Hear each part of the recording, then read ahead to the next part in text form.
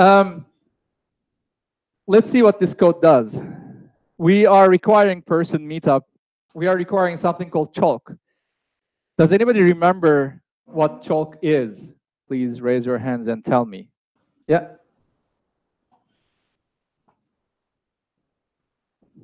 What is chalk? It's an API.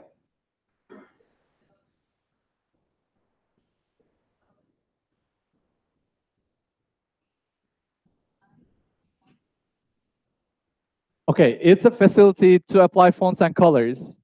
Yeah, that's right. Actually, that's literally what Chalk does. Chalk is a library, um, a Node.js library that allows you to use colors in your console messages or in any message that you want. So it turns strings into stuff with background colors, bold, underline, and, and stuff like that.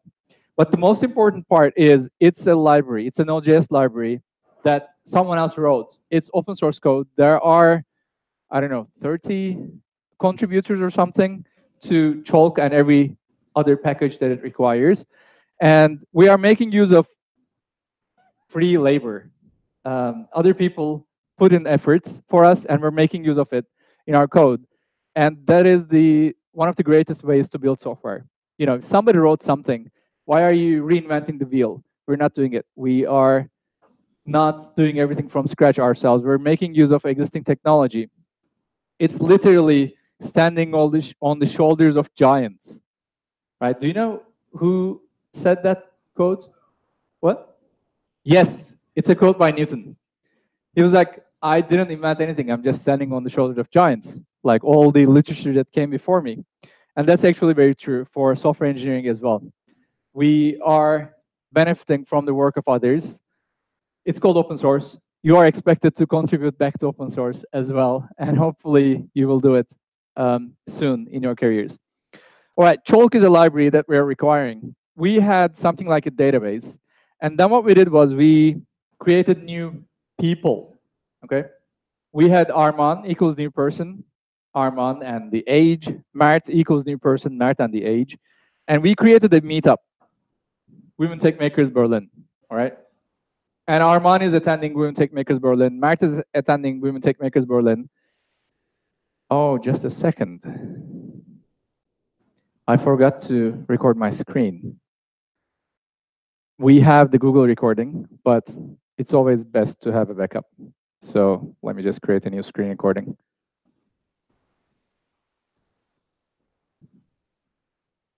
Okay, great, perfect.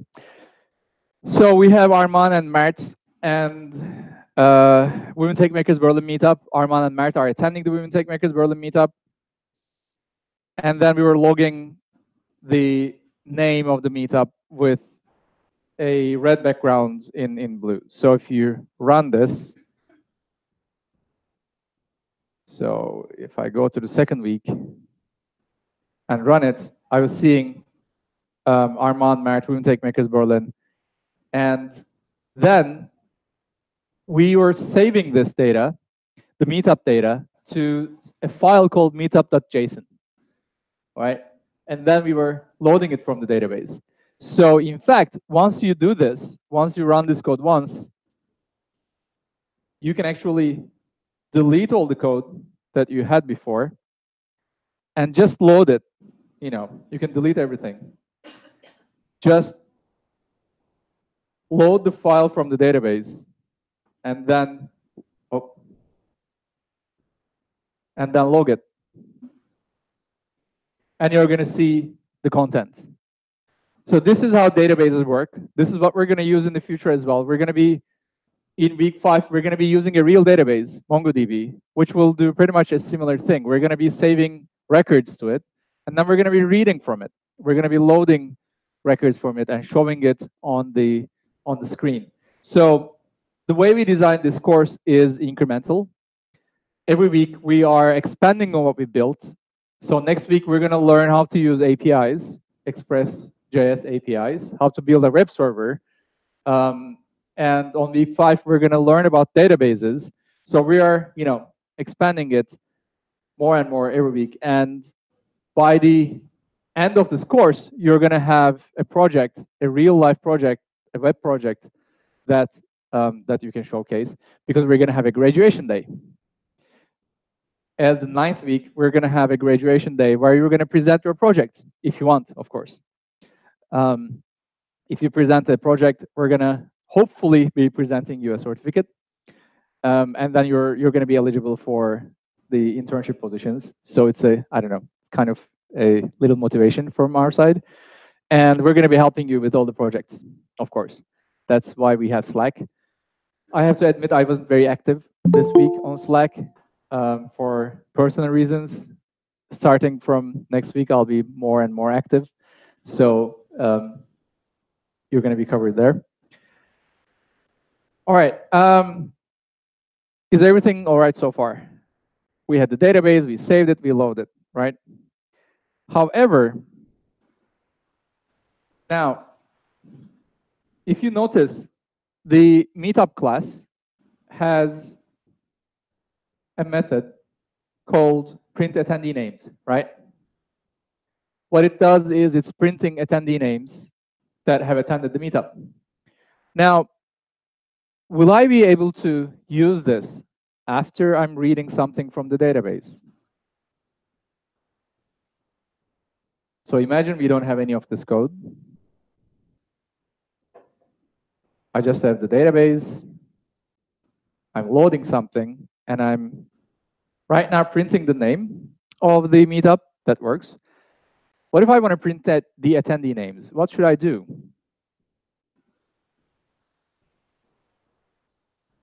On the right, you see the function, print attendee names. How should I call it?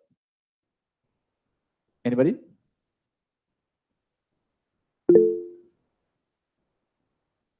Okay, what is not clear? Please.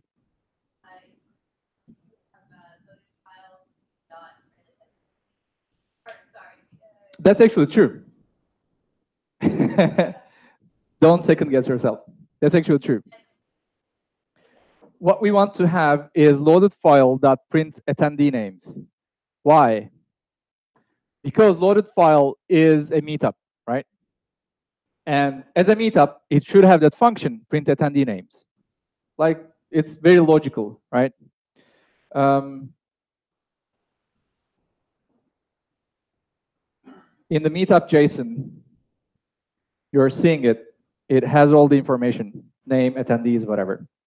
So this should run. I run it, but I get an error. It says loaded file that print attendee names is not a function. Why is that the case? It should have been a function.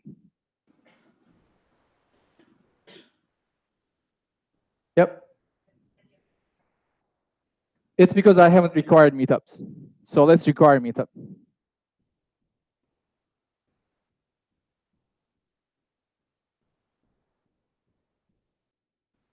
I think it's like this, right?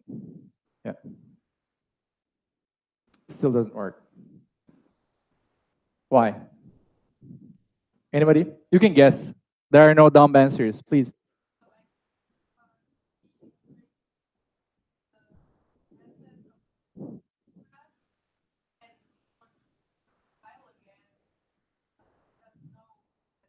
Wait.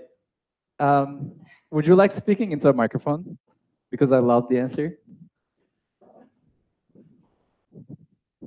Oh, could you pass it on, please? Uh, well, I guess the reason that it doesn't work is because print attendee names is a method of the meetup class, and um, we're calling it on the loaded file. So um, yeah, it doesn't work. Why? Isn't a loaded file a meetup? Well, it used to be a meetup, but I think it's not anymore. Yes, that is the perfect answer. It used to be a meetup. It's actually not a meetup anymore. Why? Because it's um, when we stringify it, if you remember the code of the database, we are stringifying it, right? Here, when we're saving something, we are calling JSON.stringify. So what we're doing is making a model of a model or taking a snapshot of a model. It's like a picture, right? It's like a static picture. We're taking a photograph of that object and saving it somewhere. And then we are loading it. What we do is we load the file, which is a string now. It's a piece of text. We load the file and we do JSON parse. And it gives us a an object. Just that. It's almost like trying to reanimate a um, a dead human being. Halloween is coming up, right? So I am I'm allowed to speak like spooky things. Um, so what the load is trying to do is trying to bring somebody back up from a from a photograph. Obviously, you cannot really talk to a photograph. Well, you can try. The photograph will not answer, right? That's just a snapshot of a person. That's not the real person. So what you need to do is you need a way for the program to understand that this is actually a meetup that we're loading. Okay, this is a snapshot of a meetup. So what we're gonna do next is, now that we have this object, we will we need a way to tell our system, and in this case it's the, the meetup class, hey, give me a new meetup instance that has the, the same information. So if you remember, classes have behavior, right, and properties and state. So if you look at the file we have in the meetup JSON, oh wait, didn't I do that? Okay. Just a second. That's weird.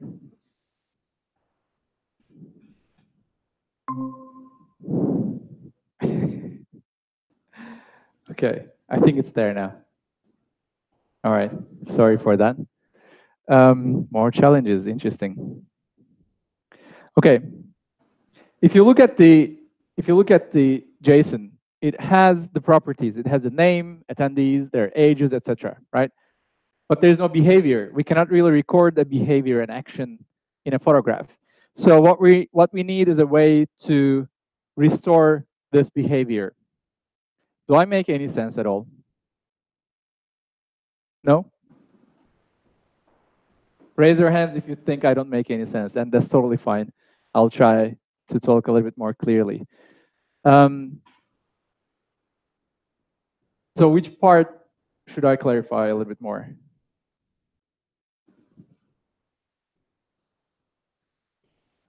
Okay, um, so what we were doing is we were recording snapshots, like pictures of our objects. And obviously, like it's almost like taking a photo of a video in action. In a, in a photograph, there is no action. And when you look at the photograph, you cannot really know what the next action will be. You lost the context. So what we're trying to achieve here is we need that action back. We need the report functionality, print attendee names, is um, an action of a meetup that normal meetups can do in our code, and we were doing it before. But with the snapshot, we cannot do it. So what we're going to do is we're going to bring that functionality back. Because what I want to be um, able to do is when I'm reading records from the database, I should be able to interact with them normally as I was doing it before, right? Before we started deleting code, Arman and Mert were able to attend the meetup, right? Right now, they cannot do it. Because right now, when we load the data from the database, it's just any object. It's just an object with that name and attendees. Nobody knows that it's actually a meetup object. So I need a way to turn it back into a meetup object. All right, let's move forward and delete these. I don't need the meetup class. Um, or maybe I do.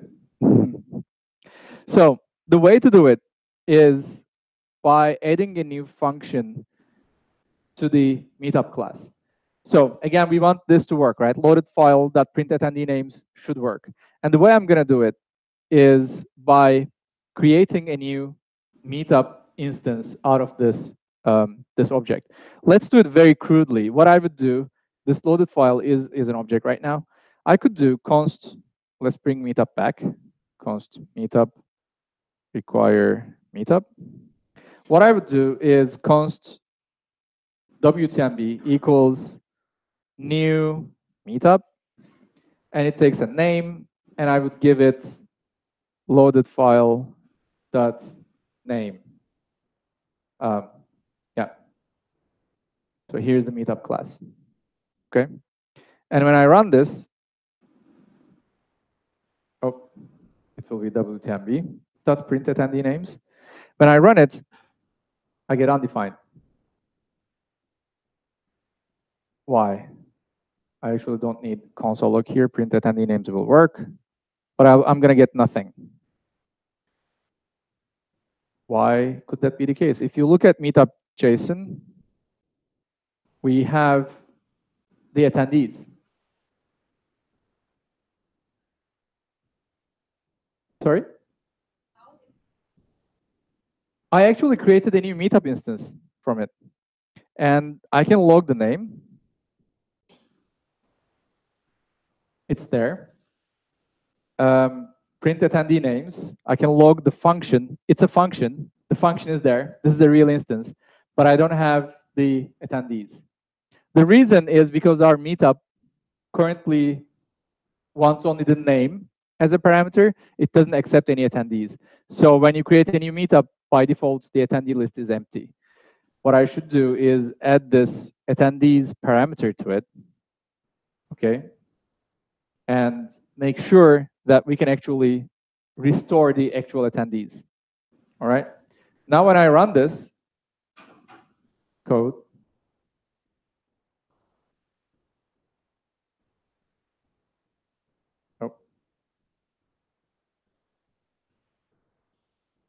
Okay, I need to pass it here.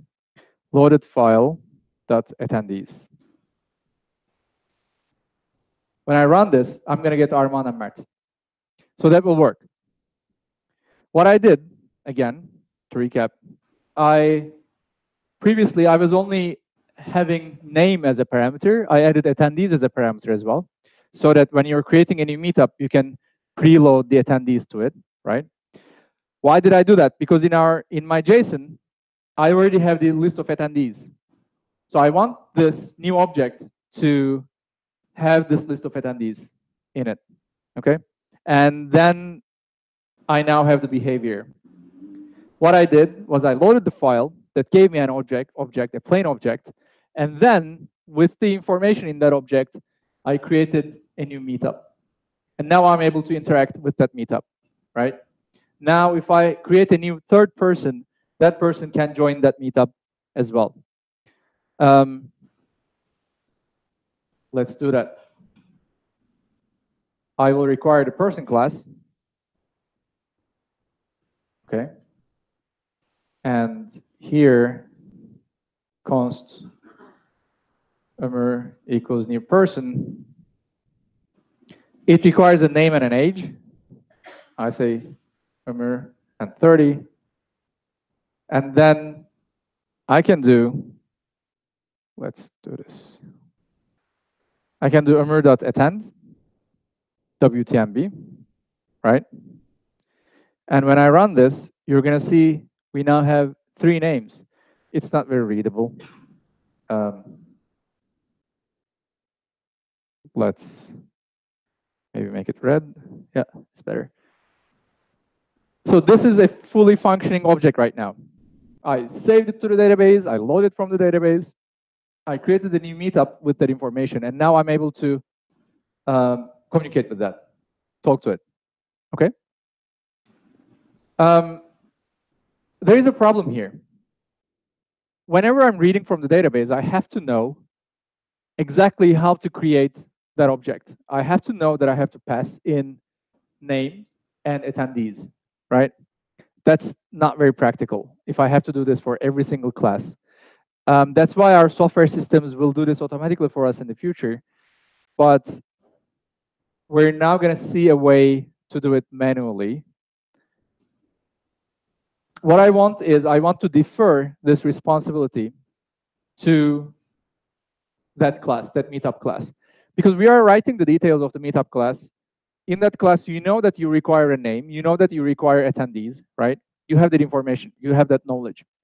As a developer who is writing the code for the meetup class, you know what properties you need. As a developer who is developing the index file, you don't have to know. Because all you need to do, all you want to do is to load a meetup from the database, right? You don't care what it is, what it does actually. So, or you shouldn't care. This is almost called a single responsibility principle. And in software, especially when you're working in large teams, you're trying to defer responsibilities as, mu as much as possible. The least amount of code you can write, the better. If you can get your job by writing zero lines of code, you're the best software engineer ever. You're not creating any load for, for other people. All right, so that's what we're gonna do. As an index file, we're gonna tell the meetup class to create a new meetup object with the data that I loaded from the database. Like, I don't care what that data is. Just give me a new meetup instance, okay? The way to do it is to add a new function to the meetup class. We call this a static function. And um, let's call it create for now. Does anybody know what a static function is? Please raise your hands and tell me if you know what a static function is or does. Nobody? Perfect. Great. Um, I hope you're not bored. Are you bored? No? Okay. um, a so print attendee names is a method, right? It's a behavior of, of the instances of the class. So when you're instantiating something, a meetup object in this case, it has the print attendee names functionality, right? That functionality belongs to the instance, to every new instance that you create. But sometimes we need functionality that the classes have, the classes themselves, and not individual instances.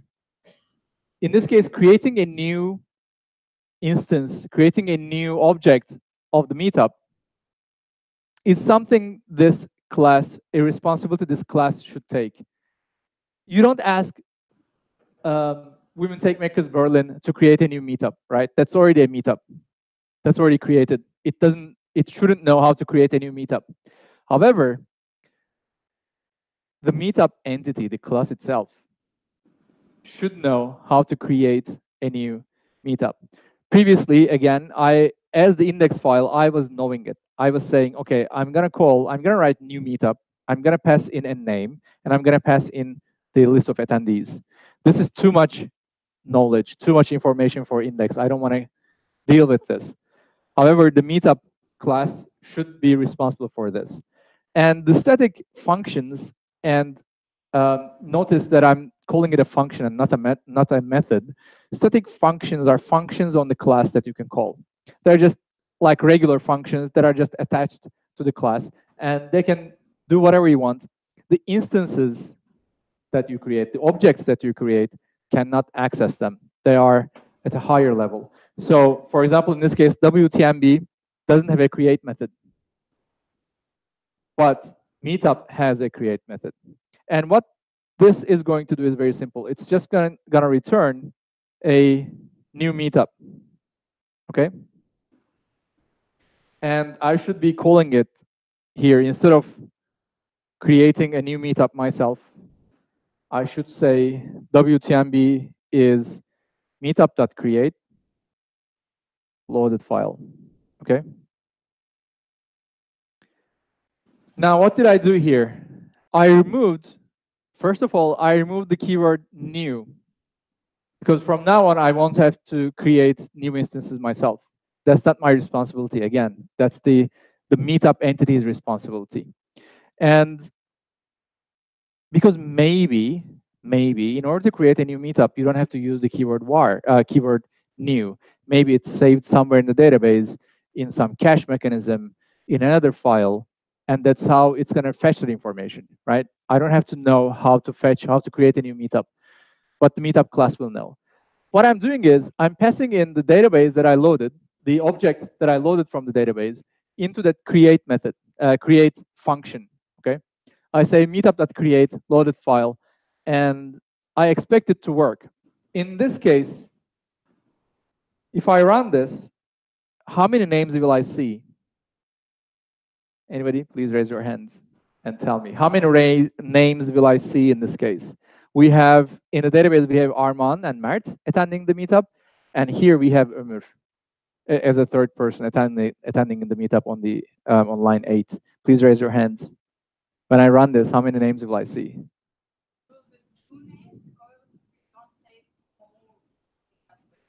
Uh, we're going to see two names because we don't save Ömür to the database. All right. Anyone else? Yes. We're going to see three names, all the three names. Anyone else? Going up. Selling. Selling. Sold. Is it, is it the, please. Zero names. All right. Why? Okay. Uh, I'm glad that you don't have the microphone. I'm going to play this game a little bit more because that's the right answer. Um, anyone else?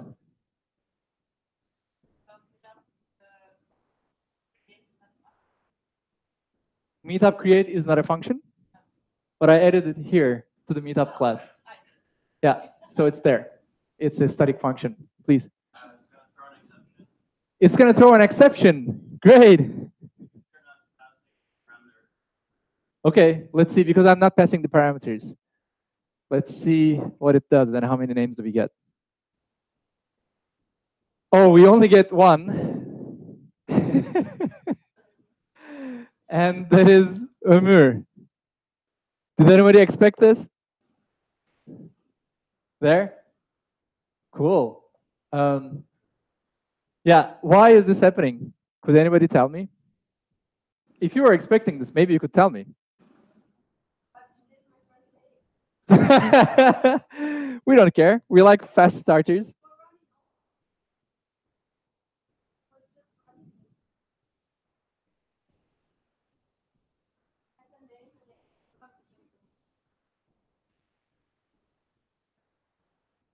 Um, yes, so I have only one name. And I'm only running what part? Which lines? They have line numbers. On line 9. Yes, but why do I have only one person? And not the people that I loaded from database? Because in the database, I have two more people. Why do I have only Ömür? And another answer? Yeah, so that's correct. Um, and I already had the answer over there, obviously, um, but I wanted to take this time because the reason is because we we're not we're passing the loaded file to the create function here, but we're not making use of it. We didn't do anything with that information. So this should be an object. This should accept an object parameter, right? And it should have object name and object attendees. That is how you create a meetup. You have to pass in a name and a list of attendees, right? Otherwise, you're going to have an empty meetup object. That's what we did. When we didn't pass in name and attendees, we had an empty meetup object. And our code thought, you know, this is a new, brand new instance of a meetup. It's an empty meetup and there's only one person attending. That's why you saw only one name. Actually, I can prove it to you. Um, let's do console log WTMB.name, and let's take this out for now. When you run this, the name will be undefined because it didn't even save the name. We're loading it from the database, and we're telling the meetup to create a new instance, but we don't process that information that we pass. So that create function wasn't processing the information that we were passing in. And when you have object.name and attendees, and when you run the file, now you see all the names, Armand, Mert, and and Women Techmakers Berlin. Now this is working as expected, right? I have the two names of the attendees, Ömür can attend, so the functionality works and I get the name and the, um, the list of attendees. Do I make sense? A little bit, maybe? Cool. Uh, there is an easier way to write this create function. See, the object is a parameter, right? I expect a real object there. Um, there's a different syntax to do this in JavaScript. We can replace this by curly brackets and by typing the name of the parameters uh, of the properties that I'm expecting in that object. So I can say I'm expecting an object with two properties, name and attendees. And then I can simplify this just by passing in this name and attendees. All right. When I run this, it's going to work again. So this is a simpler way to build um, to build objects or uh, to use objects as parameters. Instead of having a blanket object parameter, you can actually go in um, a little bit detailed way and say, I want the name property and I want the attendees property. And now whenever um, in my code, whenever I say, sorry, meetup that creates, in code completion as well, I automatically see this requires name and attendees as properties. So it's already telling me that, you know, please pass in an object with name, hello, and attendees, for example, an empty array, all right? Um, and when you log this to the console, you're going to see that we're going to have a new meetup with the name hello and attendees and empty array. So this is a simpler way of writing it, which we like. It makes development more accessible because nobody has to know what that object has as properties, right? Your IDE, in this case, Visual Studio Code, actually shows you what you need. Okay. Um, how is it going so far? You're lost? Great.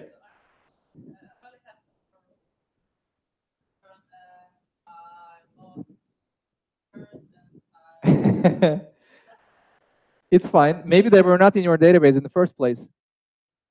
Because for this to work, um, you need to have a meetup JSON with them. Um, in order to get it, you can do first database.save. That's how we got them in the first place. So if you go back to the very initial version of this, it's going to be a lot of undos. But I hope we can do it. Yes. So in the first version, we were creating Arman and Mert. And then they were attending the Women Techmakers Berlin meetup. And then we were saving the database, database that saved. This is already in the code that we shared in the repository for week two. Um, and then we were loading it and you know going on with with that. Yeah. And let's go forward. In the last version that we have, we're loading the database, or, or we're loading the, um, the meetup from the database, and creating a new instance from it, having Ömür attend to it, and then printing the attendee names. What I can do here is I can actually save the database again, and Ömür will show up in meetup JSON as well. Let's do that. So I'll have it here. Oh. So right now you see there are two records here. Let's say database.save. It's meetup.json and WTMB. And when I run this code,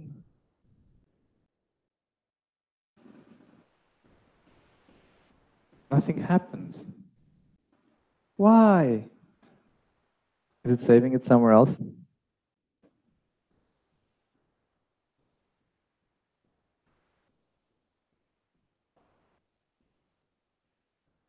Oh no, yeah, I was, I opened the wrong meetup file. So we have this, right? Right now it's in database. And now when I load it, I'm gonna have you know, let's change the name. I don't know. Let's say Juan. When I run this, you're going to see four names. Juan also joined the meetup right now. And in the database, it's already updated. Juan is in the database alongside Ömür and others. All right?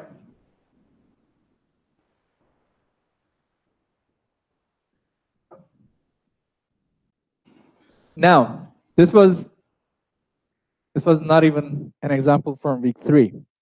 This was additional work from week two. Now I'm, I'm going to move on with asynchronous programming, the actual content of, um, of this week. Yeah.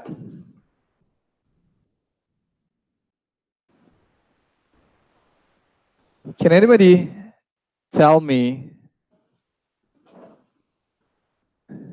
what asynchronous programming is in JavaScript? Wait, yeah.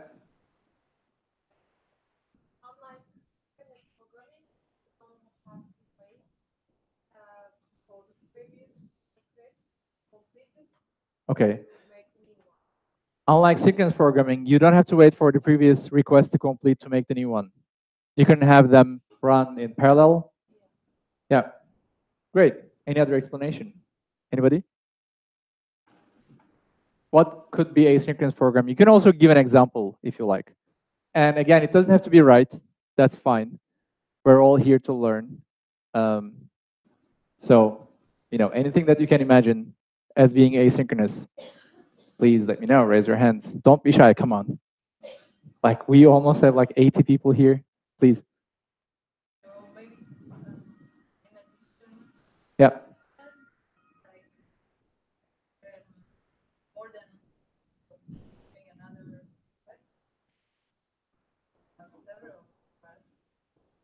You can have several requests.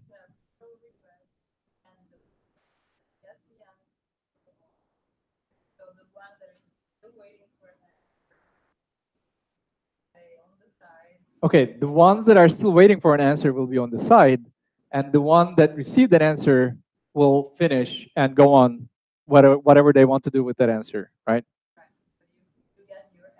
Yeah.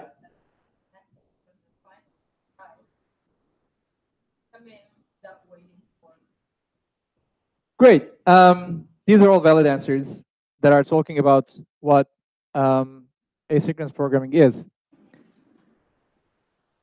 I'm going to give you a couple of examples. So unfortunately, I have to tell you, there is nothing called synchronous programming.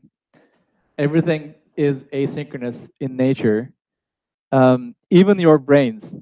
So when you hear me talking, right, I actually have made those sounds 150 milliseconds ago. There's a delay in your hearing in your sight.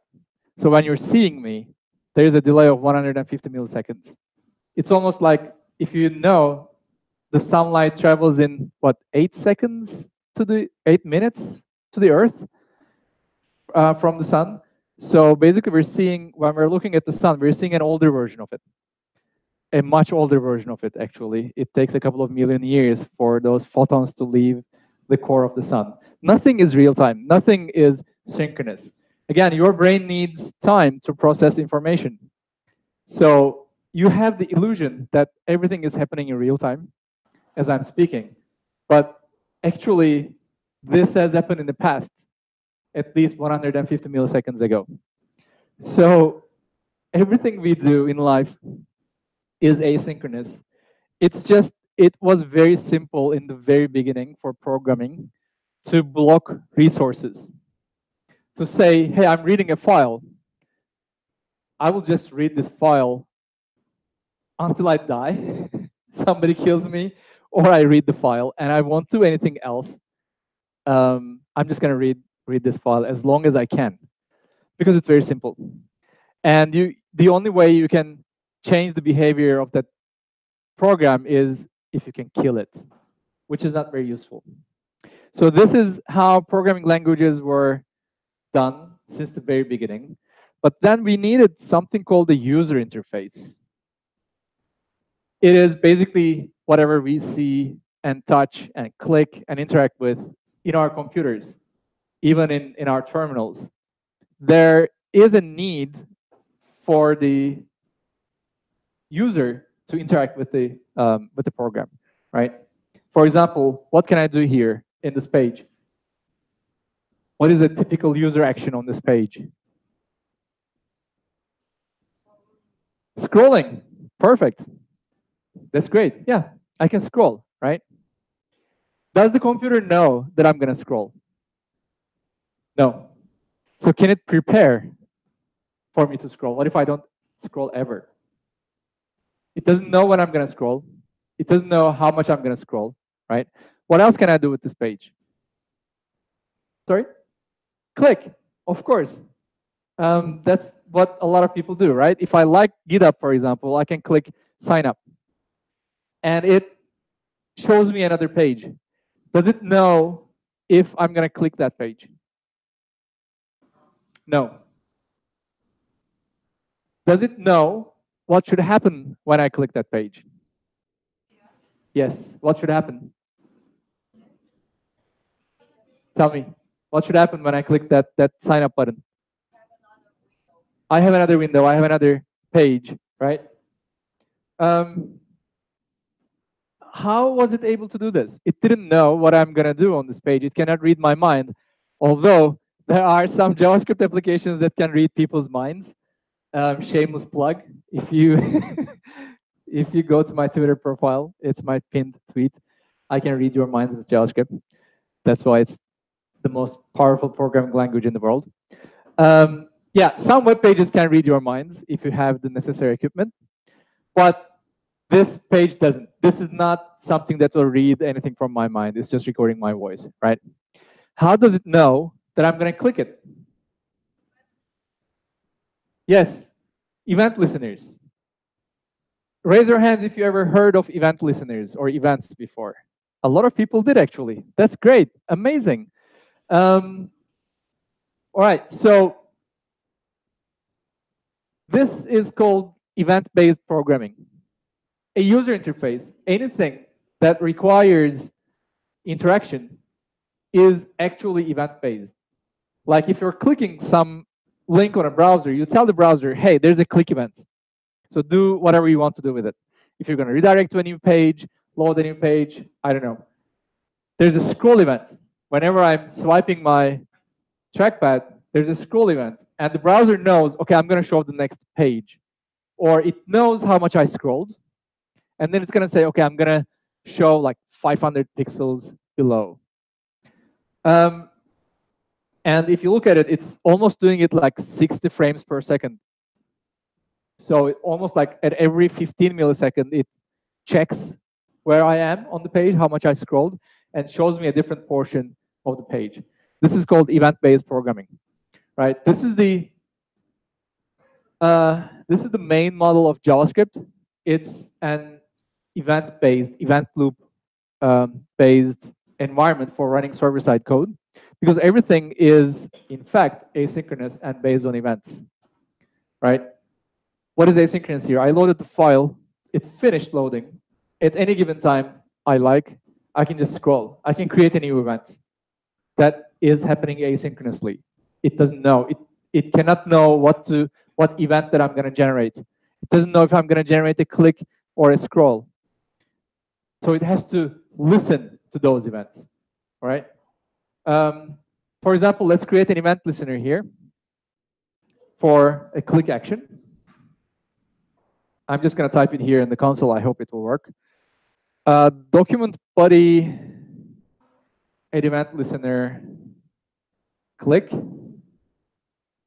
Let's say alert uh, yeah this let's see if it's going to work oh so I ran some code, nothing happened. What I did is I added an event listener to the body of this document. It actually reads very simply, like document body add event listener. Add an event listener to the body of this document. that I have open. The event name will be click, and the function will be hello WTMB. Now, I'm telling the browser, hey, when there's a click on this document, on this body, call me back. I'm sleeping right now. You know, there's nothing that requires my attention. When there's an actual event that I should be aware of, like a click event, I'm interested in the click events, just call me back. Um, literally. And when I click the page, you see the hello WTMB alert. What it did, actually, the browser called my function back that I passed in earlier, okay? Now, this is event-driven programming, which means multiple functions can actually listen to the same event. Let's run it again. I added another event listener to the click event. Now, when I click it, it's going to first say hello WTMB, and then it's going to say hello WTMB. This is a second listener.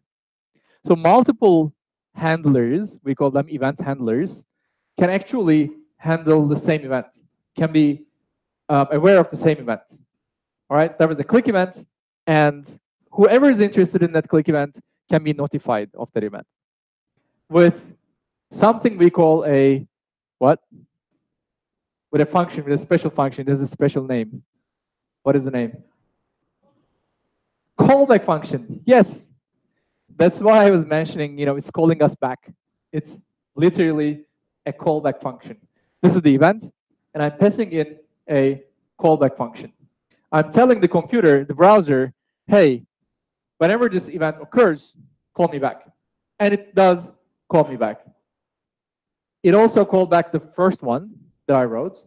So it's like, it's almost like registering um, to have phone calls. And the operator is, you know, one by one, having everybody a chance to, to speak on the phone. So it first called back the first um, callback function, which was, oh, which was this, and then it did the second callback function. Um, is everything clear so far? Any any questions? If so, you can raise your hands. I can answer it. Or we have a lot of TAs that are bored that are playing with their phones on the back, so we can actually put them to good use. Um, all right. Again, this is the the essentials of asynchronous programming. Now you might wonder, how are we going to use this? We're not doing front end yet. We're going to do it on the seventh week. How are we going to use this? Um, raise your hands and give me an example of how we can use this functionality in the code that we have written so far. Please. We don't have a user interface right now. There, there's no place that the user can click right now, as of now. So I'm asking for an example from the existing code that we wrote. Please. Maybe if a new person is created or attends a meetup.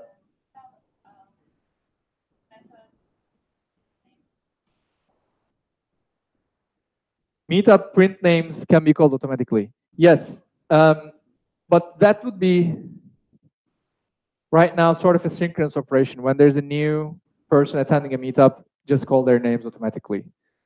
Um, but yeah, there are actually event-based systems that does that, of course. Any other answer? Maybe when we try to load something and because if that file gets too big, then it could be. Perfect. Yeah, this is a this is a great answer. Um, imagine your Facebook, all right? Imagine somebody is trying to access their database of users, or let's say your Meetup, meetup.com, and somebody is trying to get the names of the attendees to a meetup that, that's organized, and that you know your database is millions of events, hundreds of millions of users, right? Loading that database might take some time. Or saving to that database might take some time. Right now, what we do is if this file is very, very big, what we do is we just wait because everything is synchronous. If you go to the database, in fact, here's a tip for you. We're using write file sync and we're using read file sync. These two functions here are in the name synchronous. So if these files are big, if you have a huge database, you cannot do anything. You'll have to wait until we read that. You cannot even parse a second request. You cannot even have a second request until we load the entire database. That's going to take a lot of time.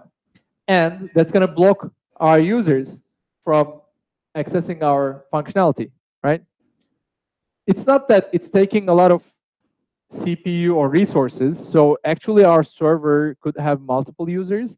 Maybe somebody doesn't want to do anything with the database. Maybe somebody just, I don't know, wants to um, register to a smaller database or just get some information that is in the memory, not even save a, um, a person or a meetup. They just want to see the meetup page. I don't know, just making these up. You cannot serve them you have to wait until that first person is done with their service, and then you can go on, which is really not useful. That's why these synchronous operations are extra. The originals of these functions are asynchronous. Because JavaScript, and especially Node.js, is non-blocking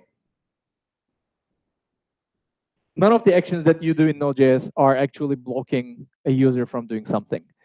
Especially in this case, when we're reading a file or writing a file, because we are actually asking the operating system, either Windows, Linux, or macOS, to do these operations for us. We tell the operating system, hey, can you please load this file? We give it the path where the file is located, and then it's, you know, it's saying, okay, I'm going to process this information. I'm going to read that file out of the hard disk, and I'm going to call you back. Now, if you do it synchronously, your program does nothing. It's just waiting for the operating system to complete, which is not a great way of building programs. That's why all of these operations are actually happening asynchronously. And what we do is we tell the operating system here when we do write file or read file, hey, please deal with this file, either read it or write to it, and let me know when you're done. In the meantime, I'm going to do something else because why should I wait? There's no reason for me to wait. And Node.js is smart enough to listen to that file read event from the operating system or file write event from the operating system. Okay. Internally, Node.js is asking the file system to read that file, registers an event handler, much like we did with the hello message, and then you know when there is uh, the when this functionality is complete, that handler is called. Do I make any sense? Is it confusing? A little bit? Maybe. The issue is servers are cheap. We can have multiple of them, and we will have uh, multiple servers. But we cannot have as many servers as our clients. If we have a million users using our web pages, we cannot have a million servers. We can have maybe one or two. Maybe if you're very rich. Um, how many servers did Facebook have? One million? Mark was talking about it. Um, they have a lot of servers. Um, I mean, Wayfair has about 20,000 servers, very powerful ones. And we have millions and millions of customers. But you know, you cannot really have millions or billions of, of servers. So what you have to do is each server has to serve multiple users. But if they, all of them want to access a very heavy resource, like reading a file from a database, that's not going to work. What can happen there is we take the orders, almost in a, in a restaurant, we take the orders and say, we're going to bring your food whenever it's ready. And then we go back to the kitchen, ask a couple of chefs who are preparing that food, and when that food is ready, we take it back to the um, to the clients, right? To the customers. This is exactly how it's working with servers and databases. Actually, the terminology is the same. We have servers that are serving the, the customers. It's literally the same. Um, so That's why all of these operation, operations are asynchronous. When we are accessing the database, a real database, it's going to be an asynchronous operation. We have one single database, think of it like one kitchen, and we have a couple of servers, but millions of customers, and they will be waiting in the queue to be served. And we need that freedom to serve other customers. Again, think of think of the, the restaurant. If you if you had one server and also zero chefs, so that's that server has to um, go back to the kitchen and also cook. Who's going to take the orders of the second table? They have to wait until the meal of the first customer is ready, right? That's very stupid. That's why you have a couple of servers, um, so that at least the customers can tell you what they want. Um, otherwise, it would be very slow, right? And obviously, did anybody work at a restaurant in a kitchen? Yeah, a couple of people. Obviously, you know that some food is already ready there. Maybe you just warm it up. Maybe you um, cook it a little bit more, but most of the base is already ready. So it takes a very short time to prepare food for every customer. Otherwise, you would go out of business. It wouldn't actually make any sense if you could make only one meal per 30 minutes. Um, your customers would be waiting. Does it clarify why we need asynchronous programming? We need multiple servers. Even if we have one kitchen, we need multiple servers to be able to serve multiple customers. Um, they're going to wait. Everybody is going to wait anyway but they want to be able to tell you the orders. Uh, all right. So I removed the, the sync from these names, write file and read file. Should it work? Raise your hands if you say this is going to work asynchronously. There. Anyone else? there. It should work, right? Let's see. What are we doing here? Um, okay, let's. Oh, okay, we have we're loading the database, and we're adding Ömür. All right, this is good. Let's run it. I get an error. Unexpected token U in JSON position zero. Why is that?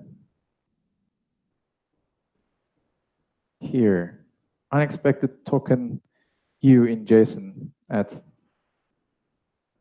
position, let's see.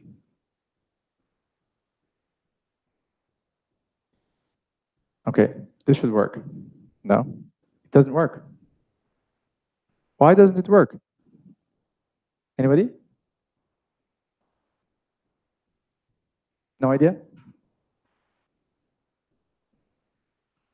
Great. I'm going to give you the answer, and then we're going to take a break for you to digest it.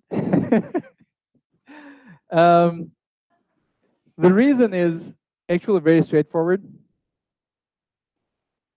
I removed the, the name sync, but it has to have um, a price, right? You cannot just change the program and expect it to work. We made something that's synchronous asynchronous. So let's talk about the load function. That's what I'm, I'm using here. I said if, previously it was fs read file sync, and just to prove that it works, let's run this. It's working, okay? So I'm not making it up. It's actually working. Um, and I remove the sync. It's throwing an error. Why? Because I'm still trying to parse the return value of read file. Okay? However, read file is an asynchronous operation right now. So it doesn't actually return anything synchronously. It doesn't return anything. If you remember the click operation that we did in the browser, we had document add event listener, right? And then we passed in what? We had something else there to listen to the events. A callback. Yeah, we passed in a callback function in, in the click handler, right? If we go back to the browser, here, we passed in hello world WTMB, and when you click it, you're notified. So we need this handler or listener in the read file event as well. Because right now what we're telling to the file system, this FS stands for file system, what we're doing is, hey, can you please read this file for me? And then just let me know when you're done. That part is missing here. We, we didn't actually give it a phone number that it can call us back on. All right? Uh, and I'm, I need to add that functionality here. Okay? And if I do it, then it's going to work. So for that, imagine in this read file, I'm passing in a function. Let's say file for now. And then I need to do my operation here. This is the event handler. This line 9 will be called when that file is read. So I, I actually cannot return anything. I have to move this JSON parse from here. I'm deleting it, deleting the JSON parse from there because there's no JSON there yet. The file wasn't read yet. The file will be read here. JSON parse file. Now I have the file. What am I going to do with it? Currently, is this code event-driven when we load the database on line 3? No, right? It's still synchronous. It's giving the command to load the file and is immediately expecting a response.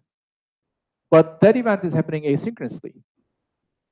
When you're on line 9, you know, after a couple of seconds, there is no way to go back to that line 3. So we need another callback function for the load function. All right. I need to add a callback here. Callback, which is a function. And then, and only then, I'm calling that callback function. Now I'm expecting it a function here. And which means that I have to provide a function, which is here, file, and let's say loaded file, because that was our name, right? Now, let's see. Let's see what happens here. Okay, before I run this code, I'm going to add something to this callback function. Um, in Node.js, there is a standard way of passing errors. So, you know, the world burned, the hard disk burned, there's an error, you cannot read the file, the file doesn't exist. You need to let the program know that there has been an error, right?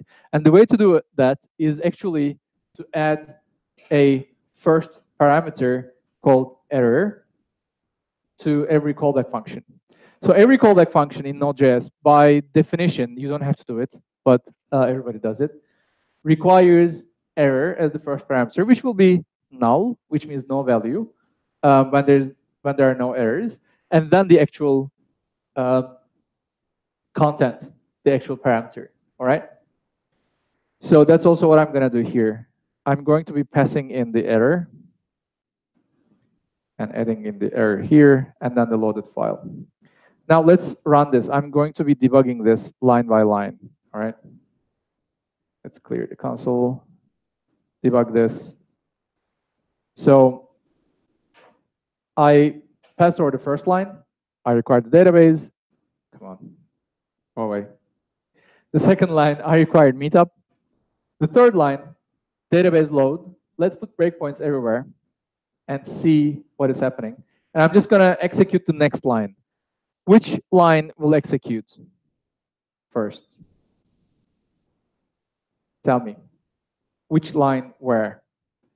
Is it line 4 on the left, line 6 on the left, line 8 or line 9? Raise your hands. Please. 8 will execute first. Here? Okay. What is the next one to execute? after 8? Is it line 9, four, or six here? It's tricky. What? Six on the left. Why? okay, yeah, I'm pushing too far. All right. um, let's see. I have breakpoints everywhere, so everywhere it goes, I should be uh, able to catch it. When I hit next, line 8 will execute, of course, because that is where the load function is. That's synchronous. Okay. Now, any bets? What is the next one? Raise your hands if you think it's going to be line 9 here on the right. One, two, okay. Is it going to be line 4 on the left? Raise your hands if you think it's going to be line 4 on the left, the next line. One, okay. Line 6 on the left. Raise your hands if you think it's line 6. A lot of people. All right. The rest is undecided. Um, okay, let's see. Let's run it. It's line 6 on the left. The reason is because here on line 8, we told the operating system to start reading that file. In our synchronous operation, sequence of operations, we loaded the, um, the database and meetup files, and we asked the database to load meetup JSON. It came here. We were still synchronous. We asked here to the operating system to load that file, and then let us know whenever you read that file. And this is an asynchronous operation, which means we, you know, defer that concern to the future, and the operating, operating system promised us that it will get back to us, okay? And then we're going on with our execution because we didn't run out of code yet. We have a lot of other code to execute. So this was a synchronous line um, on line 8.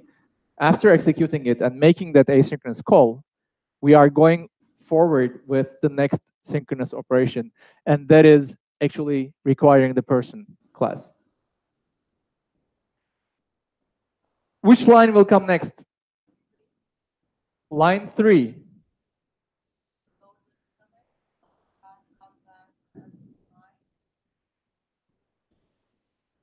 So is it line three, four, eight on the left or line nine on the right? Line nine on the right. Okay, let's see. Okay, it's line eight on the left. Why? Please. Because all the code on the left is the name of the on the left first before it starts to. Exactly. Yes. On the, all the code on the left is currently synchronous. So, in fact, now the operating system obviously already read the file, right? I've been holding this for like five minutes now. Of course, the operating system read the file, but it cannot go and disturb my execution because I'm still working on, on executing that file first. I have a lot of synchronous operations lined up. I have to first finish them, and then I can take more calls from the operating system. The operating system is currently trying to ping me, you know, every millisecond and say, hey, like, when are you gonna eat the, the food that I cooked for you, the, the order that I prepared for you? When are you going to consume the, uh, the file? And I'm like, wait, like, I cannot do it right now. I have other synchronous operations to, to build here. So I will first go through, oops. okay, what happened? There was an error, loaded file is not defined. Of course, it's not defined. There was an error on line eight because there's no, um, there's no object called loaded file, so it crashed. What happened to the file that I read? Nobody knows. It went away.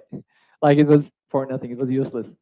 Um, all right, let's remove these. Let's say you know, we don't pass in anything, and this should work. Line three, line eight on the right, line six here. When I run this, ah, why? ah, I have to pass in at least an, an empty object. Okay. Yeah. Let's see. Okay, line eight, again, run it, line six. Next line is eight. Yeah, okay. Eight, nine, 10, 11, 12, and we print the names. We didn't even print the attendee names, right? When I run it, oh, sorry, we printed the attendee names and then we printed the, um, the meetup name. And then after I finished the execution of all of these lines, including line 11, which gave us this, and line 12, which gave us this, only then I can go back to line 9. Only then the operating system can tell me, well, I've done my part. I read the file. Now do whatever you want to do, right? And when I run this, now I end up on line 4 on the left because I read the file, and of course, I'm just going to print hello right now. That's, that wasn't very useful. Let's also print the loaded file. Okay. Now when I run it, see what happens. I'm going line 3, line 8 on the right, coming back to line 6 on the left, going through all of these lines, and having the callback. And when I hit continue, I end up at line 4 now, and only now I could read the file. And when I run it, I see hello, and there's the object, uh, Techmakers Berlin.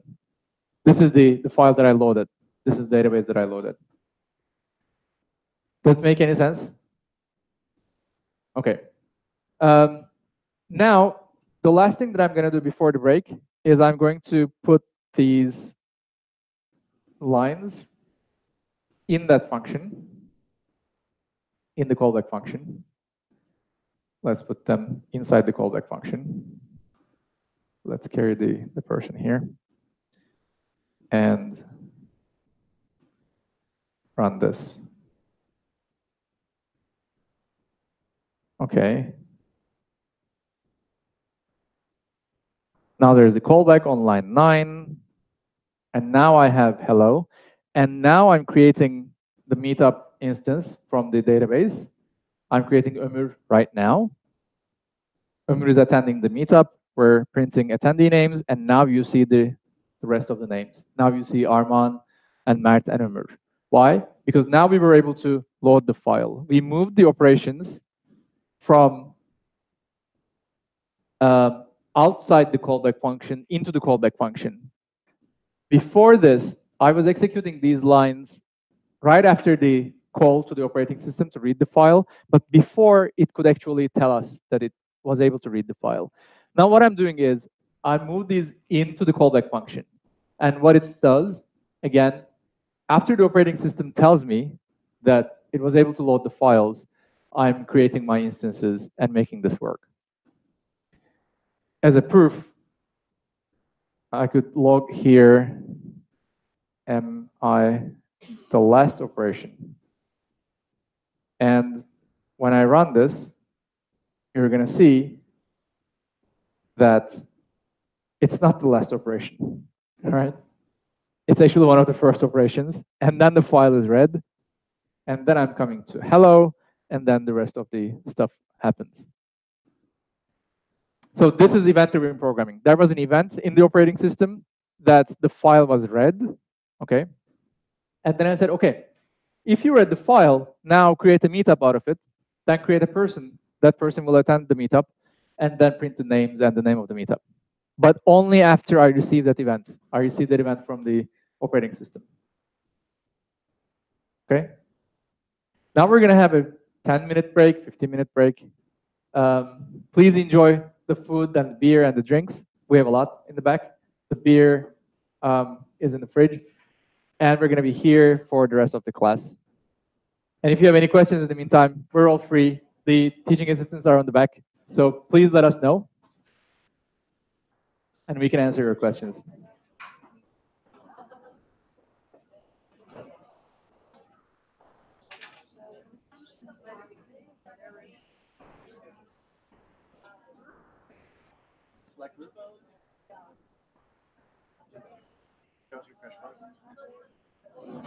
Are you in Women Techmakers Board Slack?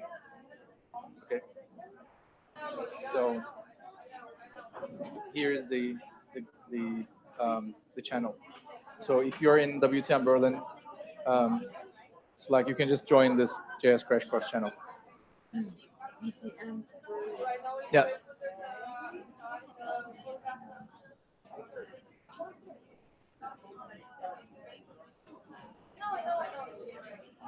Um, so it was like, um, So this is.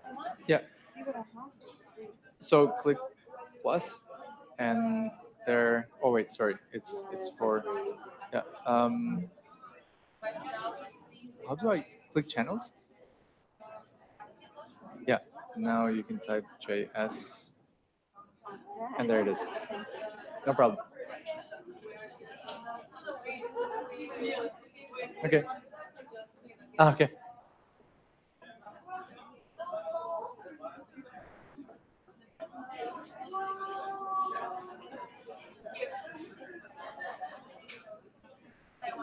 Hi. Yes. Um, there is a debug menu um, that you can click start debugging. If your Mac has the touch bar, there's also the, the debug button here. Ah, okay. So then that's what you do. Either on this menu, there's debug, start debugging. So the, the oh, you just click there. No, you can you can click them wherever whenever you want, and then you do, yeah, and then you do click start debugging, and then it's gonna stop there. And here you can say go to next line, next line, next line. It ends up there. Yeah, exactly. Yeah, it's it's the same thing. No problem. Hi.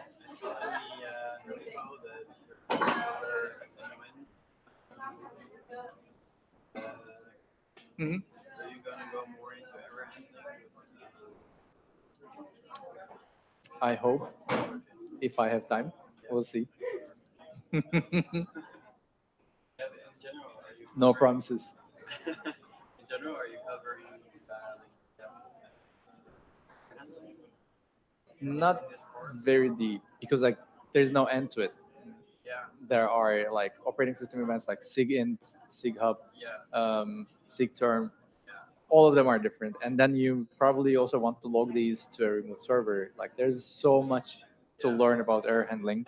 yeah. Like I'm, I'm like uh. Mhm. Like that's really one of the things that are very badly covered. Yeah. general. Like Yeah.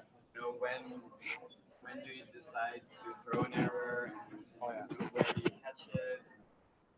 Know, should do it globally or Yeah, it's? It's really very difficult. there are not very many sources in there. So, like, Yeah. It's not a nice topic to talk about. yeah, but it's super important. Yes. But also debugging, for example, nobody's talking about debugging, but it's Yeah. also extremely important. yeah, no, if Um, have the skill. Yeah, so that's what we said in the first lecture. Uh, we in the second lecture we started with debugging. We start talking about how to run the debugger, how to put the breakpoints. That's why I didn't talk about them because the class kind of already knows. Yeah. Um, and error handling is actually one of those. Last year we had a nice discussion because somebody asked, "What happens if the program crashes before that callback executes?" And then I was able to go into much more detail. Yeah. Um, but right now the level is a little bit different. Right. So I just, you know, shamelessly plugged in the error Yeah. here. Um, I do the promises thing, I will briefly delete the file and see that uh, in a. Yeah. I hope if I will have time for it. Like I'm constantly adjusting the, the contents. Yeah. uh, Depending on how many people understand it. Do you do you know any good resources on like error handling strategies? No. Well, but we can talk about it if you like. Well, I mean, it's a big topic, topic like Yeah. uh, We can talk about it on Slack Oh yeah. if you're on, on the YouTube local Slack. Uh, yeah, I could, I could, but uh, yeah. Would you even do like a private class or something, or, I can. or even like a If you'd like to pay the hourly rate. for a few attendees, or like I mean, um, I'm, I'm I'm actually doing those type of events, yeah, um, like on demand. yeah. Um, But that would be a, not really. Uh, I mean, we can talk if you are really interested in it. Sure. yeah. I mean, I'm, I'm now like uh, full-time with art, Okay. and it's really one of the topics that I really feel I'm lacking. Yep. But um, yeah, I don't know. We can we'll- talk. we'll Um, I'm gonna send you. If you write to me on Slack, I can send you some relevant links to my web pages. Um, and then, so, yeah, you are really interested in the class. Yeah, sure. Could put up the link again for the invite? Uh, yeah. Hi. Really? Yeah. Thank you. It's so good when it's great. Um, when you find when you have an, an error in the code, Yeah. one thing I'm having a hard time with for a little while it takes you there's some referencing to that and you spoke about it too. It's, it's telling us that it doesn't read like lines or Yeah. Yeah. How do you find that exactly where it is, where the? So it tells you where the is. Yeah, exactly. It actually tells you. Where? Um, Is that at the bottom of the screen where it was yeah, here. where here. it was like where it's here? It's like it's if No, it's it's actually in the output. So let's see. For example, here, you see when I ran it, it actually showed me the, the problem here, and it tells you like it's on database.js line eight, and then you go to line eight, and it's actually even telling you the character, like character 15. I don't know where it is. I think it's maybe here, um, and then it Yeah. this is called a stack trace. Yeah. No problem. This is called the stack trace. It is basically all the functions that were executed until you had that error in reverse order. So we were on index.js first. It was line three. Obviously, this is not this code. We changed it. On line three, we were doing database load before. This is the error. This is unexpected token U in JSON position zero is the error. This is where the error came from. So I know where the error came from. It came from index.js line three, and then index.js, huh? how do you know that? It's telling me. See here, these are the lines that were executed. Everything that came after it was Yeah. So this is in reverse order. This was the first ever thing that was executed. Startup. These are inside Node.js. I'm not interested in all of these. Um, I'm interested in the in the files that I wrote. where does it say error? Like where does it show you there's a problem? So this entire thing, this thing here, is the problem definition. But the specific one. Sorry. Like you said, you said it's here. Yeah, yeah. It's telling you that- So If I- if I scan that, yeah. So know how to what you do is you ignore. So these are the file names, right? They end with .js. These are the file names: Bootstrap, Node.js, Module.js. You ignore the files that you don't know. Then you're interested in the files that you know. See, this is my computer projects called GitHub WTM Berlin JSCC 2019 index.js. This is something I wrote. And it shows me that this executed index.js file line 3 and then it executed database.js file line 8 which means this line line 3 was calling line 8 in database.js Yeah. So if you're just visually scanning, okay, what, how is it out of all of this? You look for yourself, Yeah. you know everything that came before you ran. Yeah. Um, and that's kind of it. Yeah. And then this database.js.8 was calling this line. That was the JSON parse here. That gave the error. Okay, and there's no other way of finding it, it's just by you visually scanning. Yeah. Yes. You, and then you know you Google this and learn what it is or why it is there. It's always the same message. no No. Depending on different areas, you're gonna see different messages here.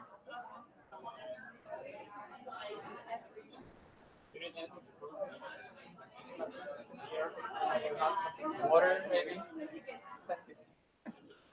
Thank you. String of lights. Turn down the lights. String right next to. I think we can. Yeah, no, we can only do. We can only turn off all of them, but we can turn them down a little bit. That's actually what we did before, uh, because they are adjustable. Um, you see the, the switch there. Maybe you can try it out. Down. Yeah, yeah, yeah, exactly.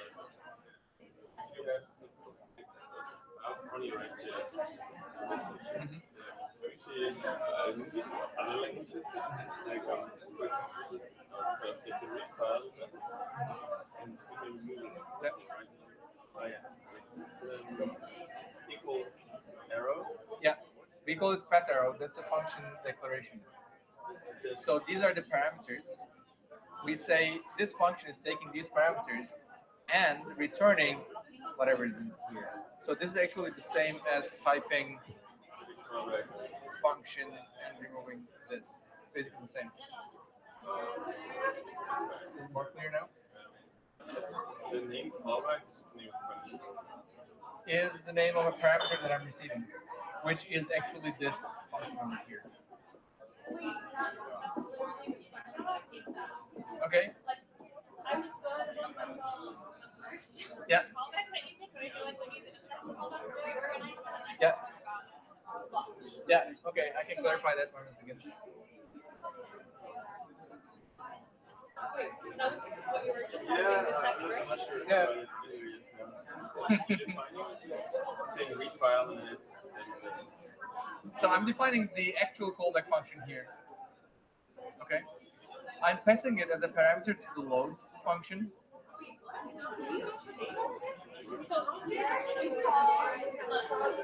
Yeah, so this this is the function that I'm creating. What? Don't freak out. Everything is under control. Yeah. Yes. Yeah. Which takes two parameters. One is the file name is meetup.json. And the callback is a function. Is a function which is this entire thing. Oh, I see. Okay, so that, that could be a variable for me. Yeah. Or whatever. So like this size looks like this. Yes. Okay. That's, that's where I got lost. Okay, I'm gonna start with that one.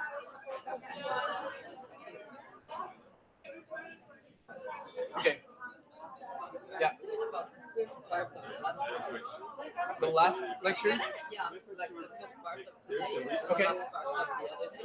Okay. is So read file is basically that means that I have to say each instance Yeah. alone. No, you create an array. Then the callback Yeah. If you have multiple I have an instances, array. yeah, Yeah, you create an array and then save the array. But then So one one file per model. I want. Ah, okay. That makes sense. Per class. Yeah. Okay. Okay, that, that's actually, and then I can look. Yeah, and you do a for each or a map operation, and then Uh-huh. create um, them one by one. Like And so. I can Yeah. reload the. Yeah, yeah. Okay. that- Yes. Hi.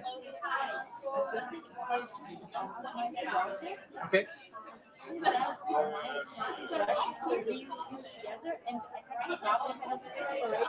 Okay. Okay. Uh, I was using files, kind of, I was actually calling them, I JSON files. But problem was that I was files to the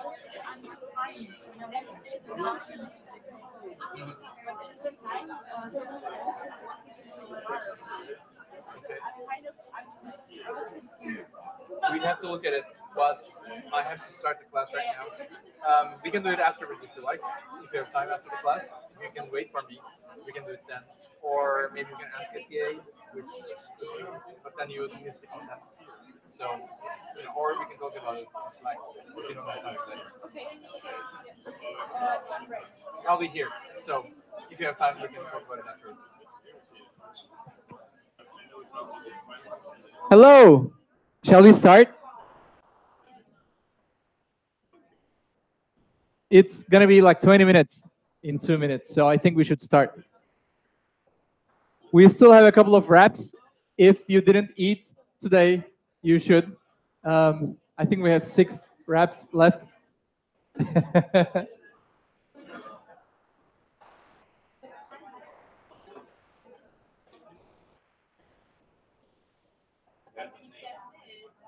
Hi.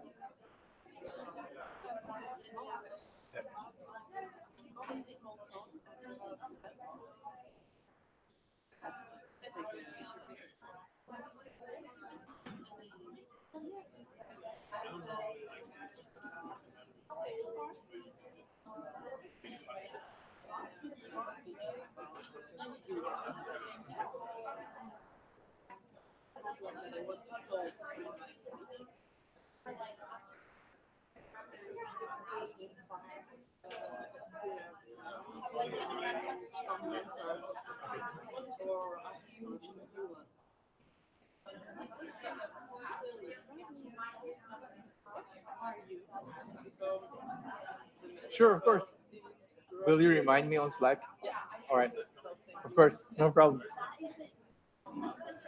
Class, are you ready? Sort of. Um, there was one person who wanted to dim the lights a little bit. If you want, if you're okay with that, we can do it. Um, the control is over there on the back. So maybe we can dim it a little bit and see if it still works for us. Not that much. A little bit higher, I guess. Yeah, something like this. Maybe we can do the same with the others. Is it okay? Is it enough light? Should I turn it on? You can be vocal with with everything. Um, we did this to make this more readable.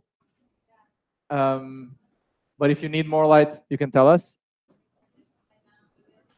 This one as well? Yeah, it's coming down. Yay. Cool. Is it better?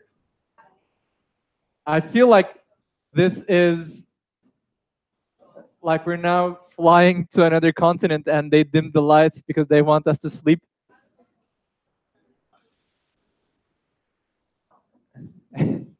okay, don't sleep. Whatever is coming up is a lot of content. Um, I'm going to start with recapping what we did here because I received a couple of questions about it. What is really going on here? What is this callback? What is the callback parameter here? What is this that I put here?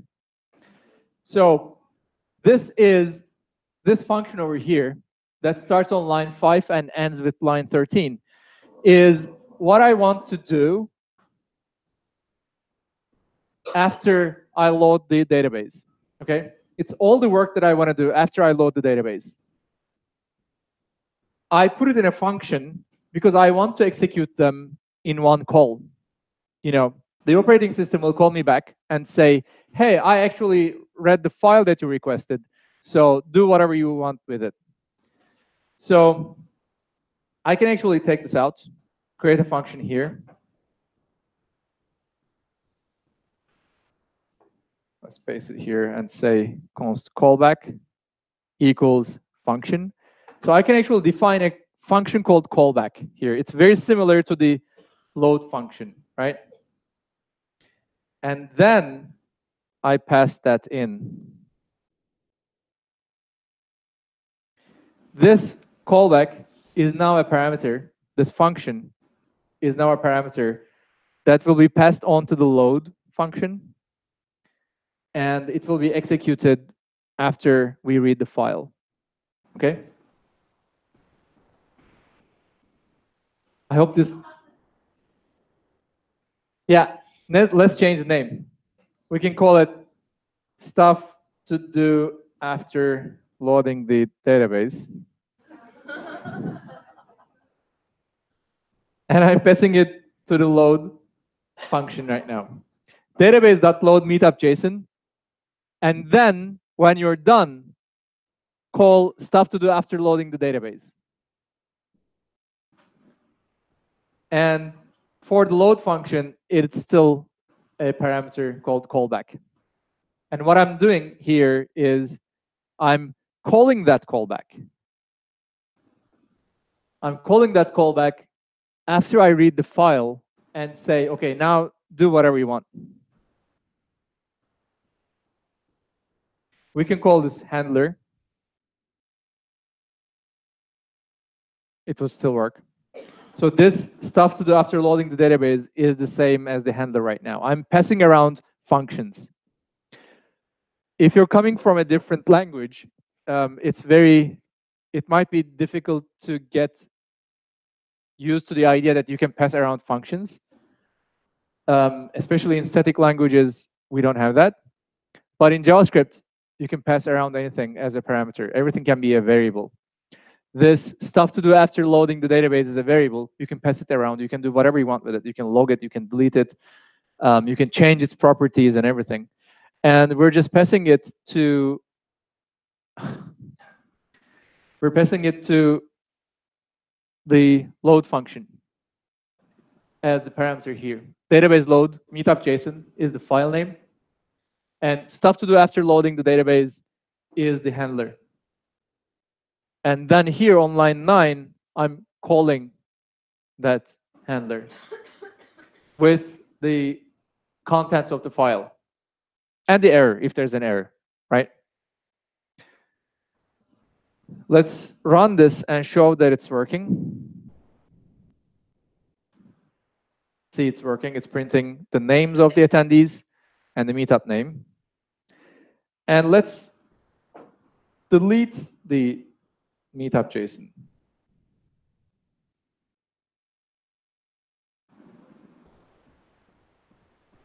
I deleted the database. What's going to happen now? Will it work? It should give us an error. See, it gave us an error. It said, unexpected token U in JSON at position zero something something. And here is my file with the path. So users, my name, projects code, GitHub, WTM, Berlin, JSCC 2019, week two, database JS, line nine. It says there's a problem on line nine, um, character 23. And it is actually here, line nine, character 23 is exactly here, json.parse. There's an error in JSON parse it actually tells us, right? At JSON parse, there's an error, that there's an unexpected token U in JSON at position zero. Um, so this is an error.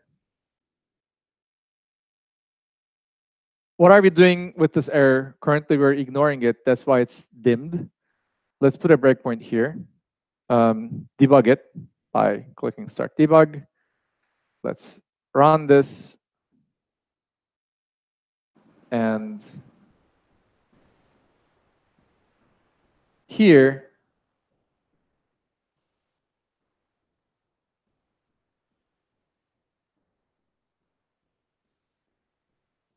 oh oh wait I, I deleted the wrong file.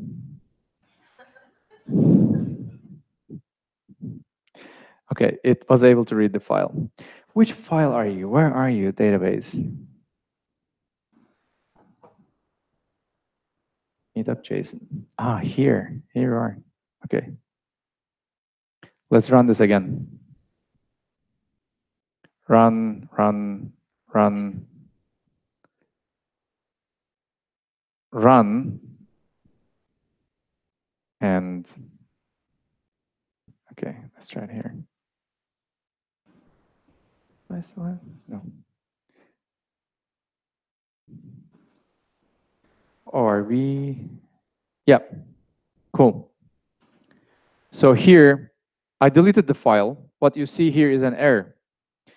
The error parameter on the right says error ENOENT, no such file or directory open meetup.json because I deleted the file. There's no file anymore. When I run this, um, in the debug console, obviously the, the file is undefined, so I'm not seeing anything, and I'm not seeing the error because I'm not handling it. What I should do in every program is to handle the errors. If there's an error, for example, I can log that error. Hey, an error occurred, and let's log the error. Let's see if it's going to stop here. Okay. Let's run it.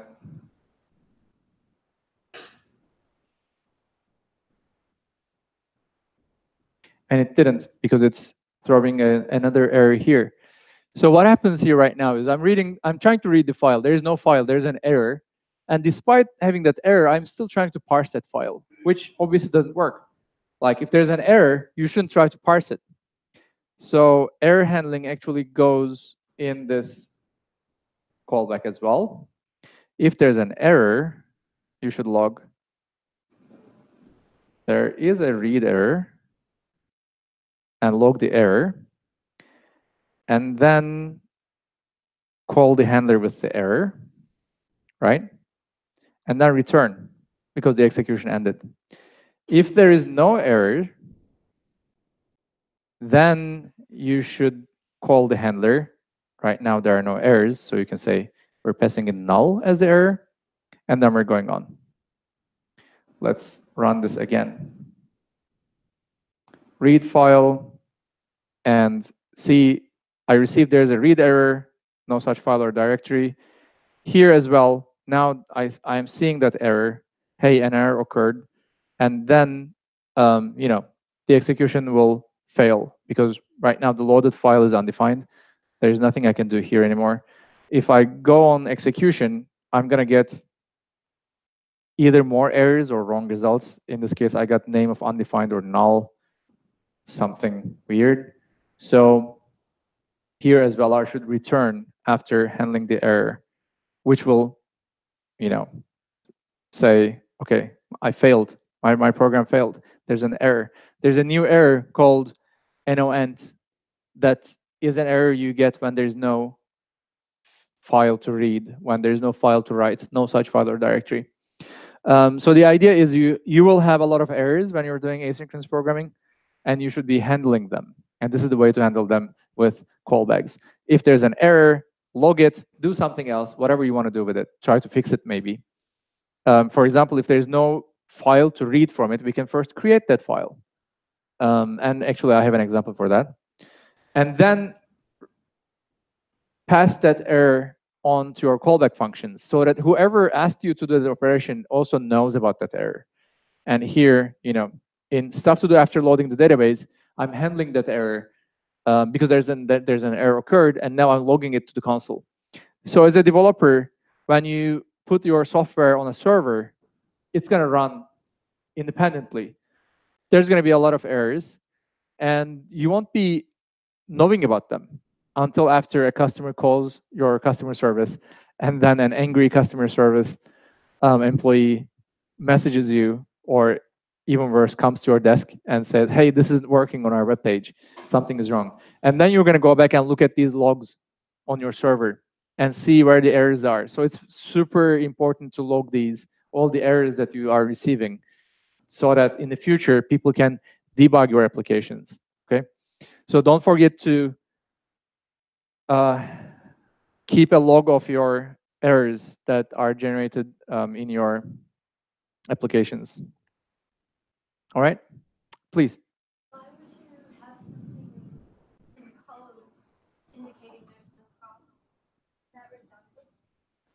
Um, why do I have something in the code indicating there's a problem? Isn't that redundant?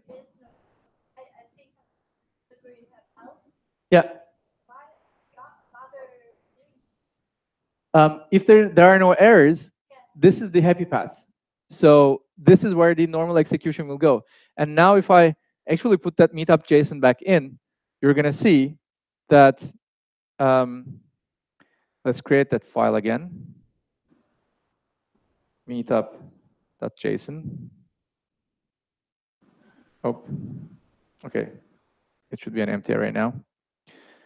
So wait, that wasn't an array. That should have been an object.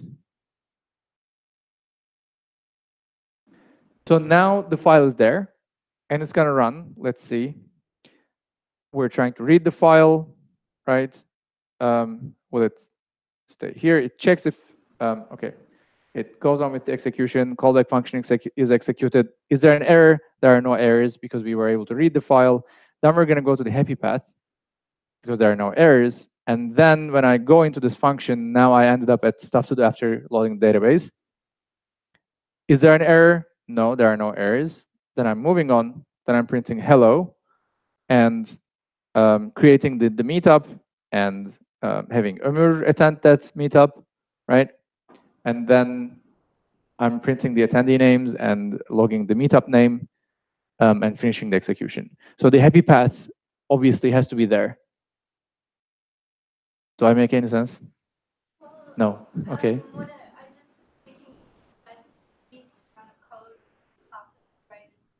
Yes. Yeah.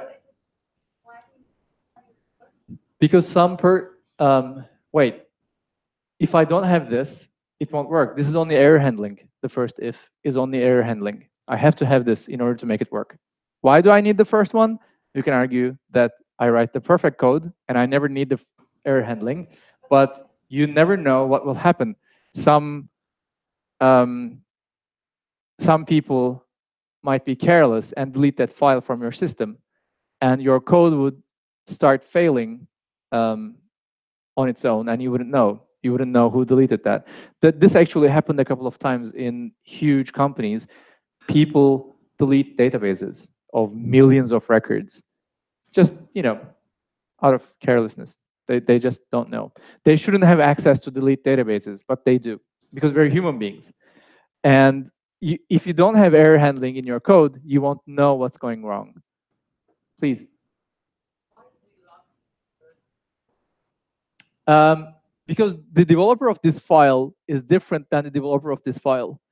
The developer of this file wants to know if there are any errors that's coming from the operating system. The developer of this file wants to know if there are any errors coming from the database. There are two different teams. Probably this was developed last year, and we're just adding new functionality, and we want to make sure. Um, the more error handling you write, the better you are um, in knowing where the errors and, and the problems are. The, the order be, would go for with this order. First the error. and Exactly. Always handle the errors first.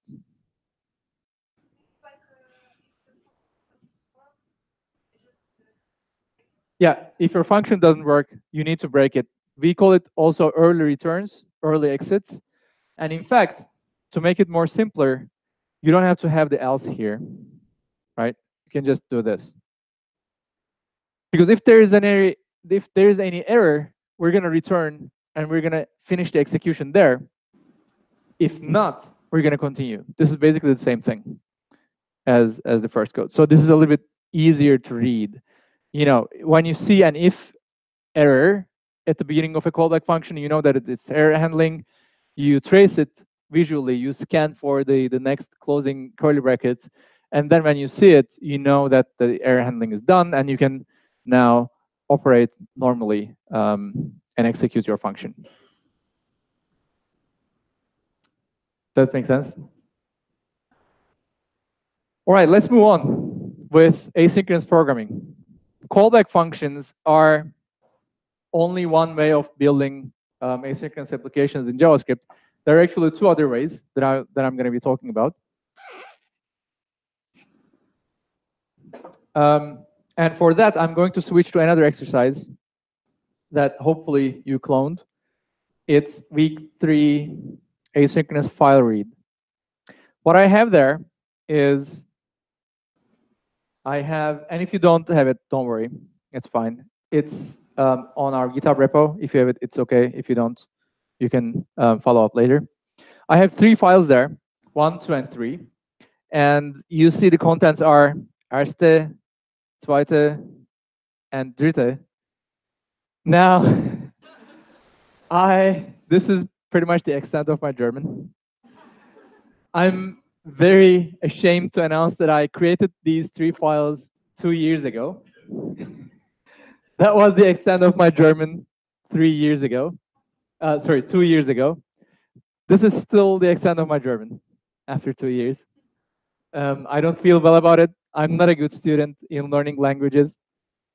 Um, I know about 15 different programming languages, but only English as a, as a second human language.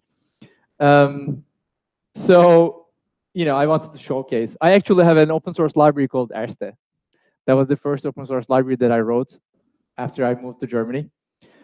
That's how I'm attached to these words because I know how to count. and I want to showcase it at I, I go. Okay, so what I'm going to do here is in these lines, I'm starting with reading them synchronously, okay? What you expect here is these will, this will log erste, zweite und dritte. Oh, I said und. it will log erste, zweite, and dritte in order, right? Because these are synchronous operations. In fact, let's do it. I'm going to be running in the debug mode. So this line executes. I'm clicking on this skip line or step, whatever it's called, step to next line, step over. Um, so we log erste, we read the second file. The operating system made us wait for it. And if this were a huge file, we would have waited a couple of seconds. We read it, zweite, we, we read the third file, dritte, and it works. Now, in order to read these files in order with callbacks, this is pretty much what we did with the database, right? We have read file instead of read file sync, and we have a callback function. We have a callback function that receives the contents of those files and then logs them. What is the next line that's going to execute when I hit run?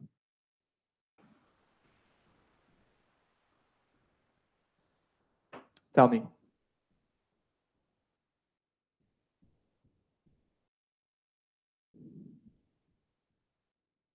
Let's do process exit. Let's comment out these things. So the first line that executes is this fs read file. What is the next line? Will it be 34 or what? 25, 26? Raise your hands. Anybody, please? 34. Anyone else? 34. Any other ideas? Okay, two men thinks it's 34. Anyone else within? Yeah. Is it going to be 34? Okay. More people are agreeing on 34.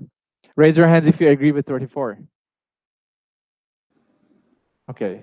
Um, I tricked you because I'm going to ask you now. Why?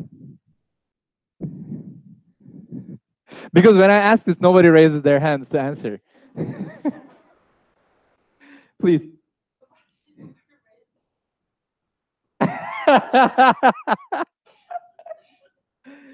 okay, can you tell me? Why, why will it be 34 and not 25, for example?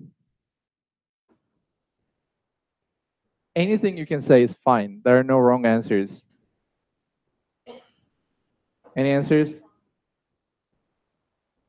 Okay. How about you?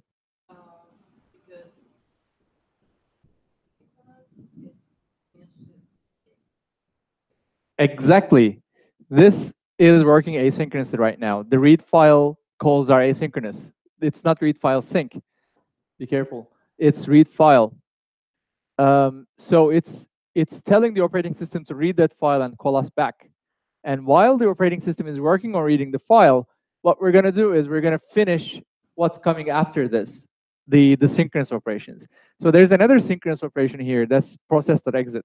And that's what I'm going to execute next. So if I hit step over, I'm going to do 34, and it's going to quit. Because, you know, I exited the, the process. I didn't have a chance to read the files. I didn't give a chance to the operating system to call me back. I literally cut the line. Um, so let's comment out these bits and remove this process exit. Let's say console log am I first? Of course, you're not, we know that. Oh wait, we know that you're first. And then you have erste, zweite, and dritte. Okay? How does it look? And there are no error handling here. Imagine you also have error, error handling. How does it look, the code? Is it familiar? Did you like it? Do you like how it looks? Is there a pattern here? What would happen if I had 10 different files, if I wanted to read them in order? It's not readable, right? It's going in and in and in with every asynchronous operation. In a regular web page, you have tens of different asynchronous operations. It's a little bit difficult to read, to consume. So when you're here on line 29, you're logging console log um, content 3. What you usually do is you read these files and then log them here, right? And now imagine we are doing a hundred different operations. Where is contents two coming from or contents three coming from? It's a little bit difficult to, to trace. Everything is happening asynchronously. And in order to have them working in order, we have to see it's going to work, of course. We have to have this indentation. We call this the callback hell because it's like infinitely growing. You have like 10 levels of indentation for 10 different asynchronous operations. It's a hell for developers, for JavaScript developers. So we don't like this at all. And this was how we worked until, I don't know, 2013, 14, around that time. Um, I developed code with this for almost 15 years. That wasn't the best time of my life. and then people invented new ways of doing it. And you're actually very lucky. We have much better ways of doing this right now. And I'm going to be talking about that in a second. But before that, in order to prove a point, I will take this apart I will take out these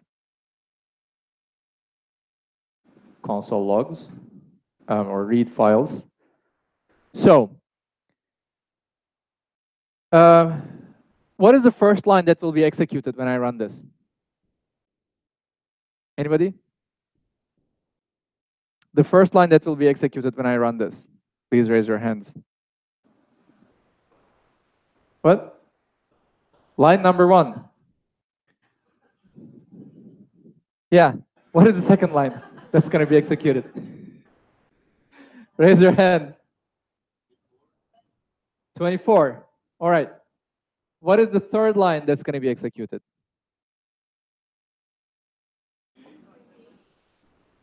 I hear 28. Higher? Anyone else? 36. Good. What else? It's either 28 or 36, right? Let's run it. The first line is this. The second line is 28. The third line is 32. The fourth line is 36, because these are all synchronous operations right now. I'm doing read file, file one. You see there are no logs yet. And I'm doing, I'm continuing on doing synchronous operations. I'm telling the operating system to read the first file then I'm telling the operating system to read the second file and the third file. But all of these are synchronous. I didn't give a chance to the operating system to call me back yet. I'm still blocking the line. And then I'm logging console log, I'm uh, am I first? And then if I put breakpoints here, now here's the important tricky bit. Tell me which line will execute first. No, you ruined all the fun. Don't do this. right? I'm sure you didn't hear. Tell me. Tell me which line will execute first. 25? Why?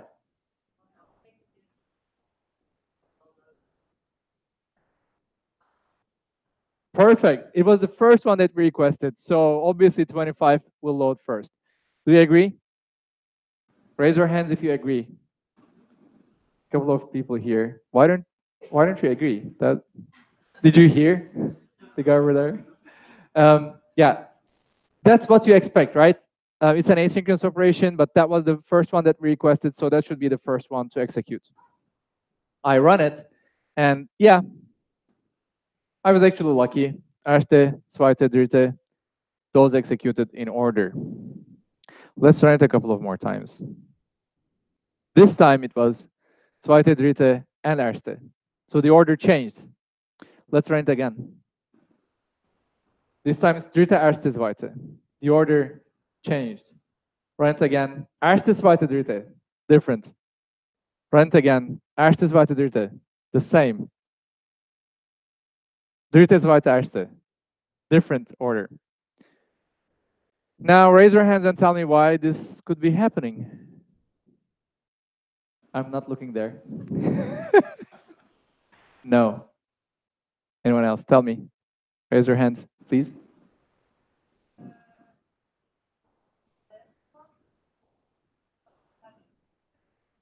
Cool. Dritte was the last one before, so maybe it's in memory. Um, that could be how the operating system implemented it. We don't know. Um, the reason these are happening randomly is because we're not in control. The operating system reads these files whenever it wants. And if it's in memory, maybe it will load faster. If it's not in memory, maybe it will load slower because it's reading from the disk. Maybe it's always reading from the disk. I don't know. It's probably always reading from the disk. Um, and then, you know, the disk is a flash disk. The access times are different um, and they're random. Do you know what RAM stands for? It's random access memory. Literally, the access to the memory is random. In, in today's disks as well, the access time is random. So you don't know. You don't know which one you will get first. You register them. You say, I want the first, the second, and third file in order. And then they end up randomly calling you back. So that's why this code won't run. That's why we have to put them in a callback hell to guarantee that they are in order. Now we say after reading line, um, after reading the first file, then read the second line. After you are finished reading the second file, then read the, uh, the third file. After you're finished reading the third file, download the contents. Now I ensure the, um, the order. So if you run this multiple times, you're gonna get the, the same order. And my first is always first because it's synchronous. Erste, zweite, dritte, you know, you can run it a million times, you're going to end up with the same order. So the only way to achieve order is to create chaos with the callback hell. Come on, that was a good line, right? Um, are there any anarchists here? No? Yeah. okay. Um, but we all agree this looks terrible. We need a better way to make this work. And there comes the concept of promises. Raise your hands if you heard of promises in JavaScript or futures in other languages. It could be C Sharp, it could be, I don't know, any other language. Okay. So um, a promise is a construct, is a contract that you sign that you're going to do something in the future, right? If I promise to come to your wedding, it means I will probably skip it. no, it means that I'm, you know, I'm going to prepare for it and come to your wedding on your uh, wedding day, hopefully. Um, if I promise to pay my rent to my landlord, I say, you know, on this date, I'm going to send the money transfer to you. until that date, I'm not going to do anything. For example, um, I have an automatic payment at every, I don't know, last week of, of the week, my bank pays out my rent automatically. I'm not doing anything for it. I set um, a command that will run in fixed intervals of a month that will send out the same salary, um, the same rent. And, you know, you delegate that responsibility to something else, to your bank, or in this case, Node.js. You say, I promise to do this for you. And then, you know, you don't have to call back, of course. You can ignore it, um, you can skip it. But what you usually do is you go back and say, well, yeah, I did the payment or I read your file and here is its contents. But that will happen in the future, right? This is how we do asynchronous programming in JavaScript.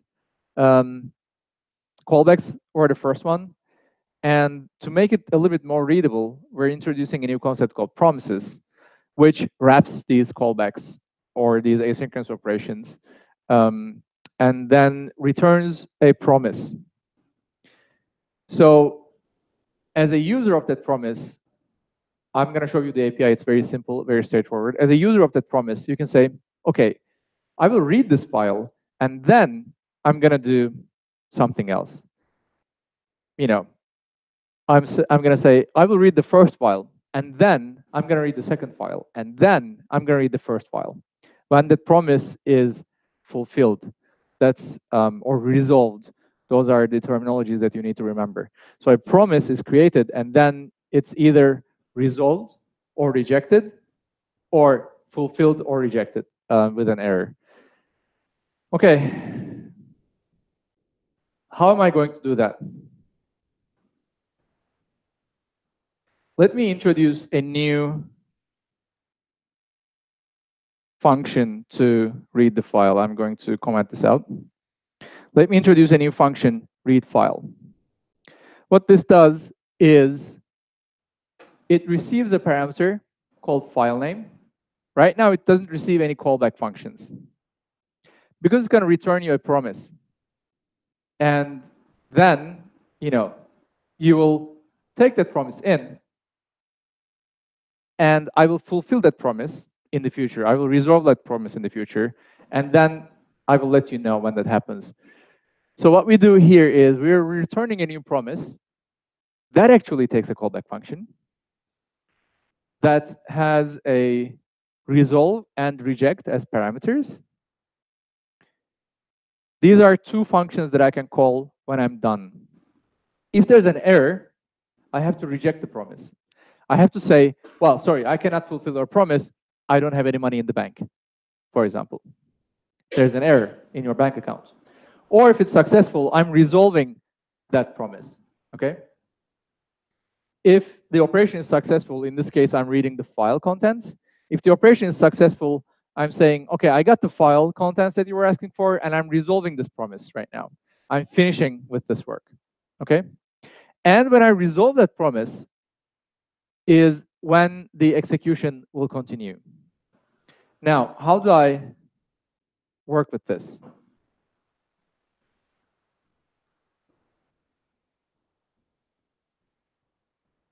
This is the syntax to work with promises. You first say read file and ask for the, the file name, of course, you give it the file name. And then you console log. Okay? And then you read the second file. And then you console log. And then you read the third file. And then you console log. It kind of reads nicely. Like the syntax is a little bit weird with these arrow functions. Um, you could also turn these into arrow functions like this, contents, console log contents. It's basically the same thing. But this would be a little bit harder to read. That's why I removed them. You know, this is the same thing. Read the file, then you will receive the contents. This is a function, callback function, print the contents.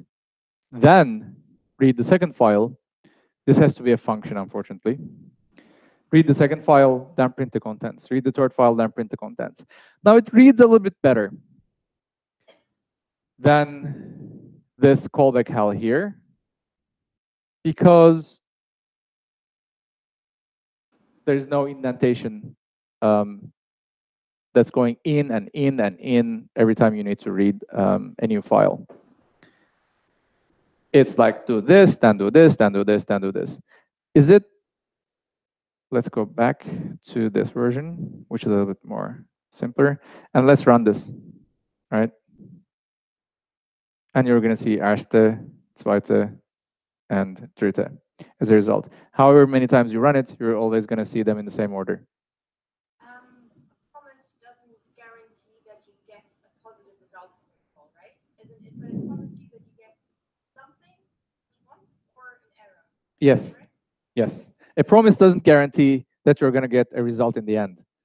Like every other promise in the world, there is a chance that I will not be able to fulfill that promise. Um, in that case, you have to catch that error. If you're familiar with the concept of try-catch blocks, this is exactly what it is. This is exactly um, that functionality. What we do is we are trying to read our files, and if there are any errors while we're trying to do that, you know, maybe the second file isn't there. Maybe the operating system kind of crashed while trying to read the file. The file was there, but the operating system crashed. We're going to get an error at the end where we say, okay, catch this error for me. And we also give it a, um, a callback function. And in this case, I'm just logging that error. In fact, I could even remove this parameter here and also say console log there. I'm also logging there. Now, this isn't very useful. Like I'm logging the contents and then I'm logging the error. Probably in a real life application, you do something else with the error. For example, you call people um, at night, the engineers who are working on your code to maintain your code, you call them at night and tell them, hey, there's an error, look into this. Um, so usually this catch function is a little bit bigger. But for practical purposes, we can say like this is also going to work because console log is a function. It prints whatever you give to it. Um, does it read better?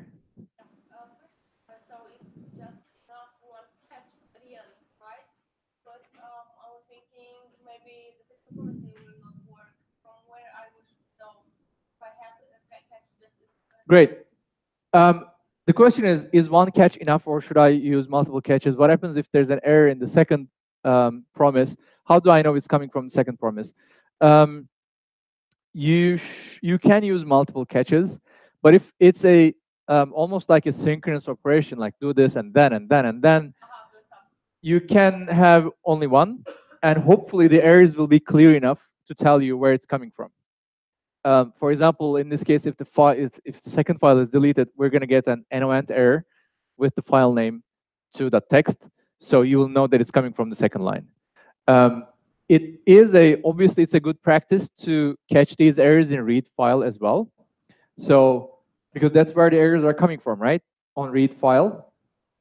Here, if error, return reject error is a common way of building these things. What should happen here though is, yeah, we're gonna re- return it in the end, but maybe we should log it. There is an error. Now you will exactly know where that error is coming from. And obviously put the error there as well. You will know where it's coming from, and then you're passing on that error. Whenever there's a chance to log an error, do it. It's good practice. Whenever there's an error parameter, the first thing you should do is to handle that error.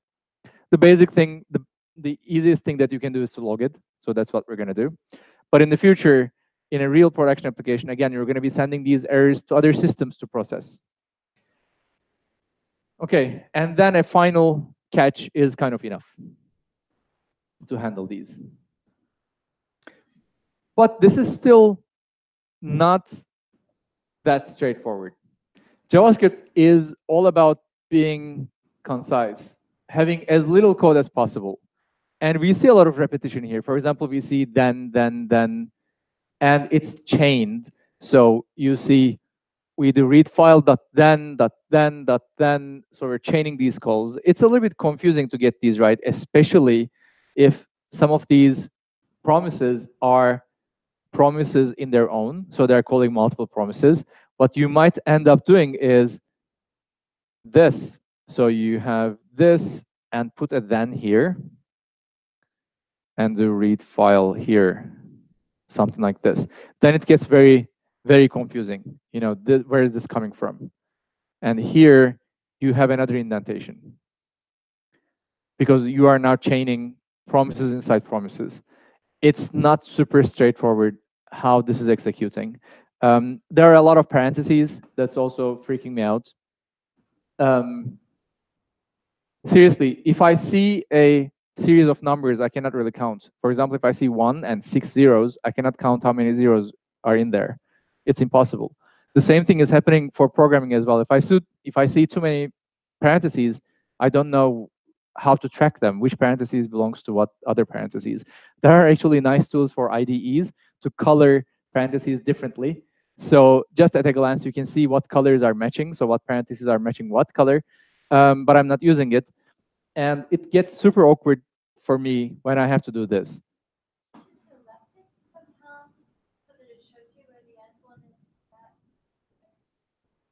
Can I select it?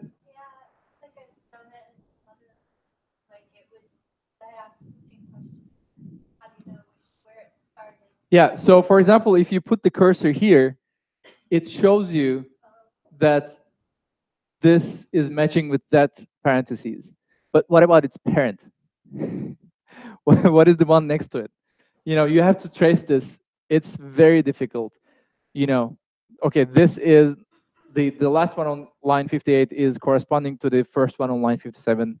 And what was it then? What was it coming after? Which promise? That's that gets awkward really quickly. It's best if we can avoid these.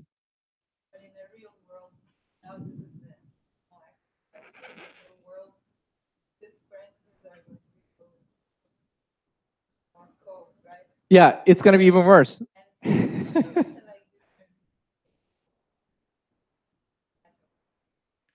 Yeah, in real world, we're going to have more code between these parentheses. It might be handled with one method, hopefully, maybe not. Who knows? Um, depending on how much time that developer didn't have to make it look better. But the thing is, we can do better. That's the, the biggest thing I love about JavaScript. The community never stops. We're trying to improve the language as best as we can. So there's no need, please.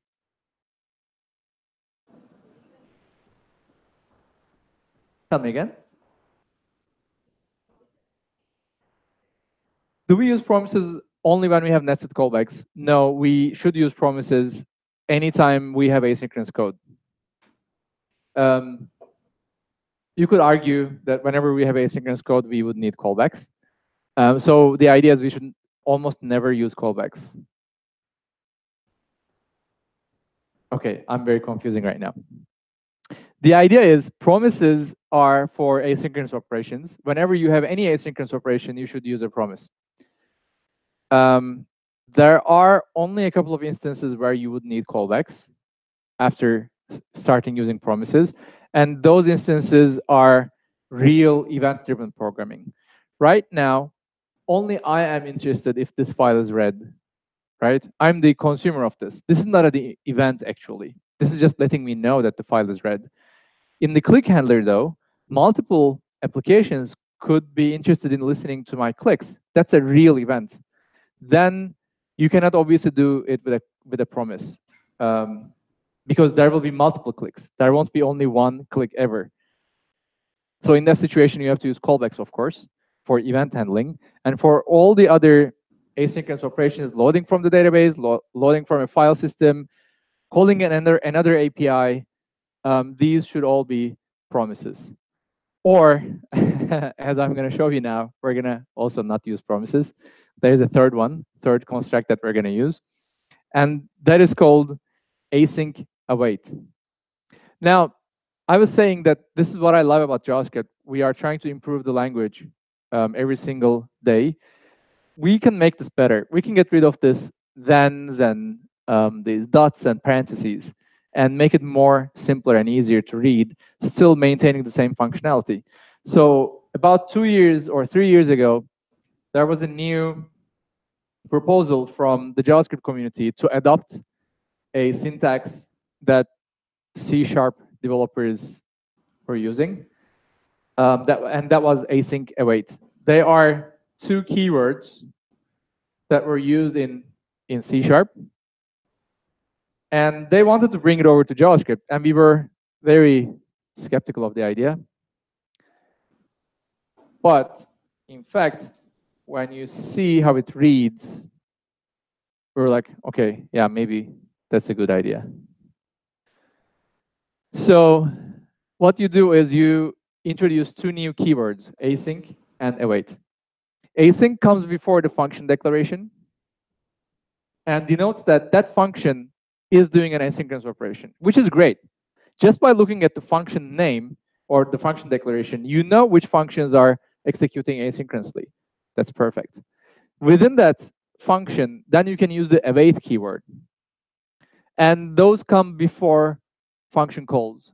You can say await read file. This indicates that read file is an asynchronous operation where my execution should stop and delegate that to the operating system, whatever. And then I'm going to have the results as content. Okay? And then I move on to the next line and and next line um, forever. So let's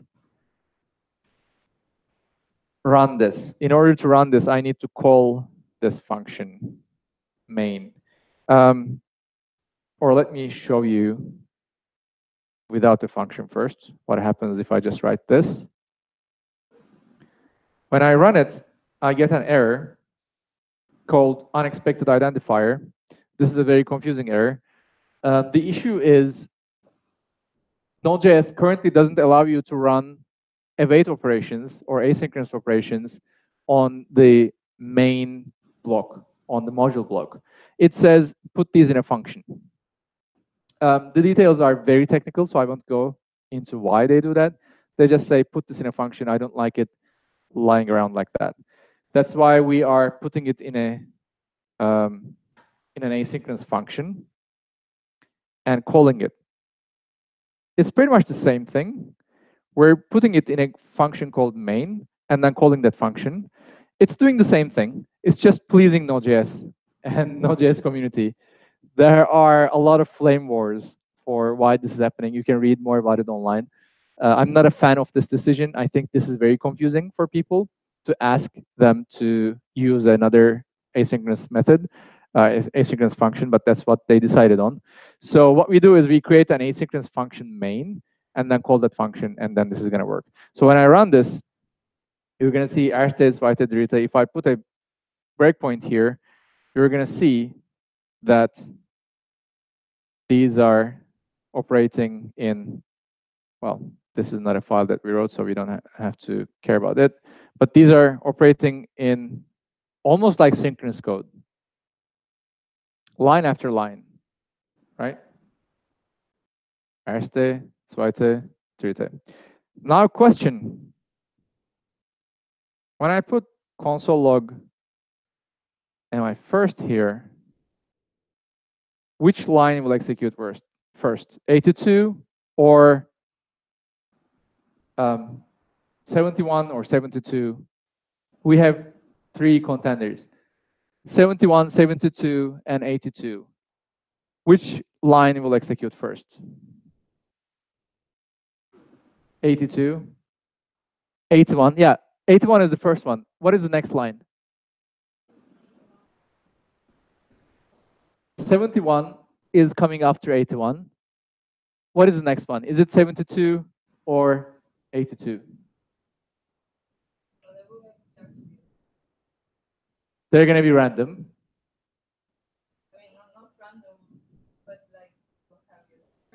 Yeah.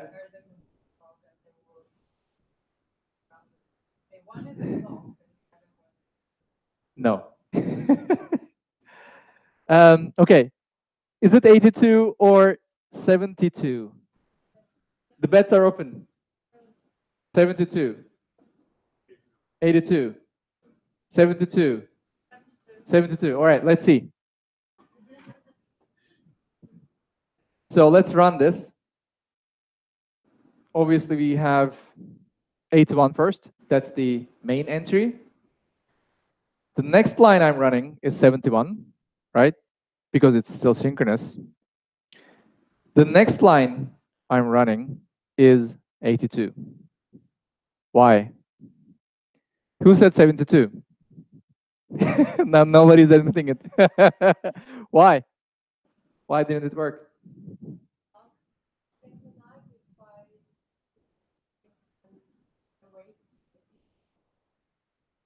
So you thought we were synchronizing it by using async and await.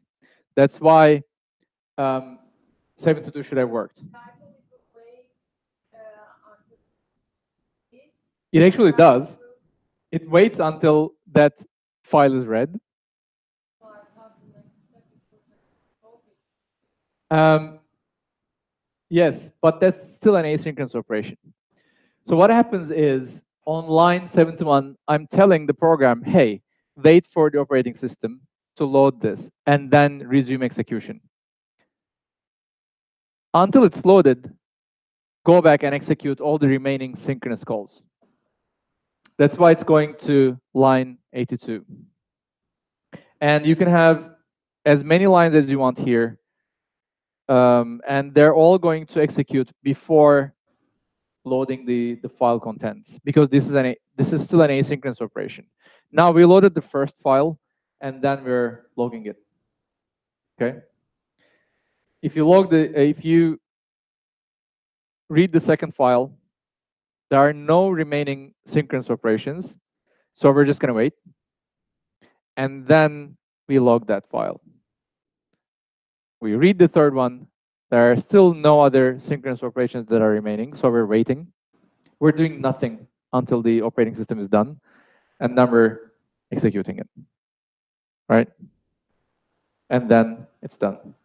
So this new syntax, async await, make this look very similar to synchronous code, but still makes it asynchronous, which is a little bit confusing at first, but um, in the long run, it simplifies your coding because you're going to have multiple of these things. Because in certain cases, it literally doesn't make any sense at all to have another synchronous operation. You only rely on reading the first file, the second file, the third file, or doing the first API call, the second API call, the third API call. The responses depend on previous calls all the time. So literally, you can only wait if that is the case, why should you deal with multiple indentations or multiple then clauses? It could read this simple, you know, wait for the first file. After you receive the contents, do something else. After you receive the contents, do something else, which is, you know, which reads really simple. But again, if there are any other requests coming in from a client, you can execute it which means multiple clients can be asking for the same information simultaneously, which is a little bit better. Now, question.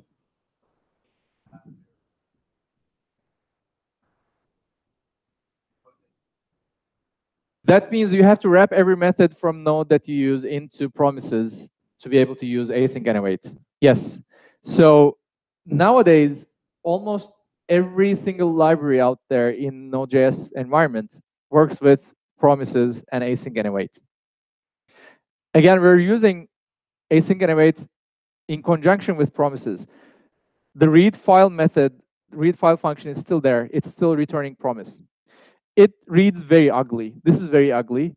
But imagine that this is another developer doing it, writing uh, that ugly code for you, and you're using it very nicely in a, in a very readable format. So what we do in every asynchronous operation we're doing promises, we're writing promises, and then uh, when we're consuming those functionality, we're using async await, which reads super nice. If you're using any library, any asynchronous library, for example, Chalk isn't asynchronous. Chalk is synchronous. Chalk, the library that we use for printing color, is a synchronous library.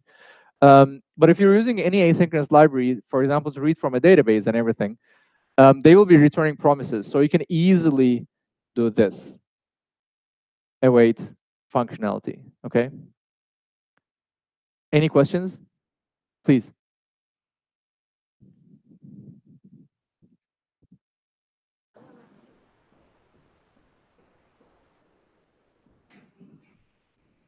So the question is, when do I use promises and when do I use async await? If you already have a promise in your hand, you should always use async await to consume it. If you don't have a promise yet, and um, you don't have async await, nothing, you only have callbacks, then you should be creating promises. For read file functionality, for example, Node.js APIs don't use promises. Node.js APIs use callbacks.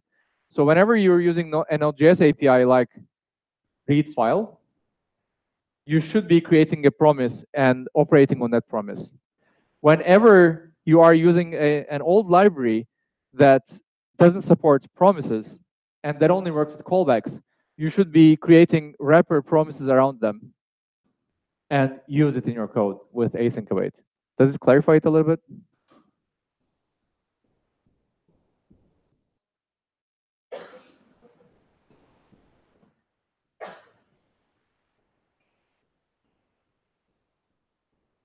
Yeah, um, let me try to clarify it once more. Callbacks are like fire. We don't touch them. Um, promises are like tongues that we use to deal with coal or hot coals that are burning. So we don't use callbacks at all if we can avoid it. Whenever we see a callback, we try to write a promise around it. And then whenever we have promises, then we're free to use async await. So there's a actually a very clear order. If you already have promises, there are no um, callbacks anyway, you directly use async await. If you have callbacks, you don't touch it. You just write promises around it and then use async await. So the goal is to always use async await. And depending on if you have promises or not, you write promises. Okay, any other questions? Any question over there? No? Are you, did I lose you? Please, question.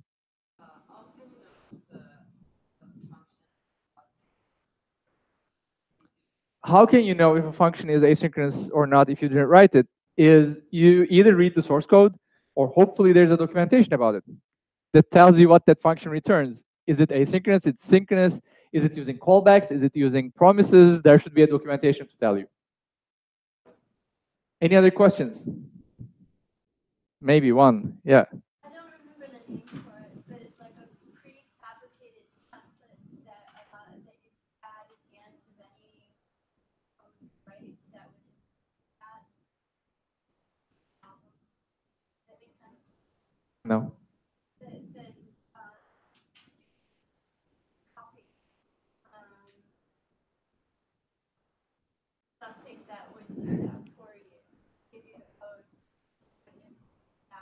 Promises.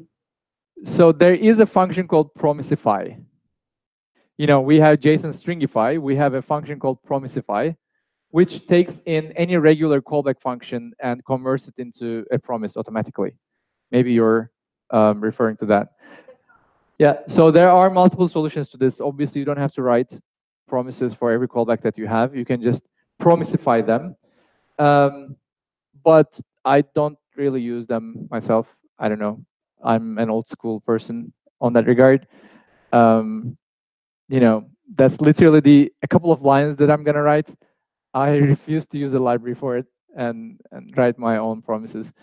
Um, okay, now I'm gonna move on to a new topic. Before that, did I lose you? Are you bored? Are you following still? Okay. Um, I'm going to show you a couple of other examples that is related to your homework. This is the challenging bit. Um, oh, wait. Let's run this. before we move on to more like harder topics, let's run this code. So I have a couple of console logs here with a function called set timeout. What set timeout does is it takes in a, a function, bless you, it takes in a function and executes it after some time. This executes after 10,000 milliseconds, which is 10 seconds. This executes after seven seconds. This executes after three seconds, okay? The question is, what is the order? What will be the order that I see at the output? Is it one, two, three, four, five, six, seven, or what is the order? Which will be the first print? Which will print first? You can shout, it's fine. One. Anyone else? One. What is the second one? Three. Next one? Four. Six. What is the next one? Zero. Why?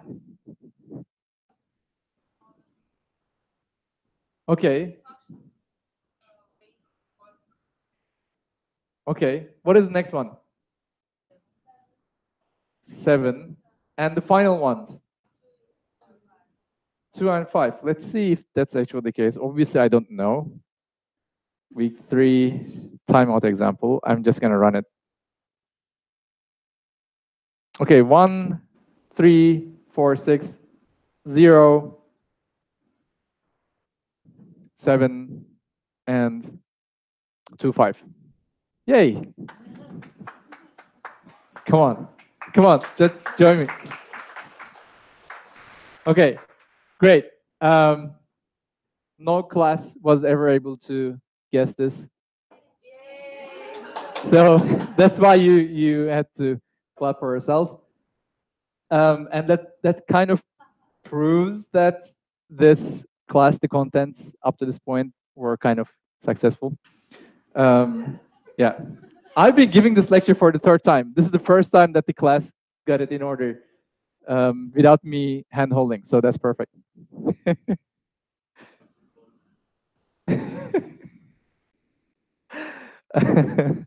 um, so I have a couple of examples I told you.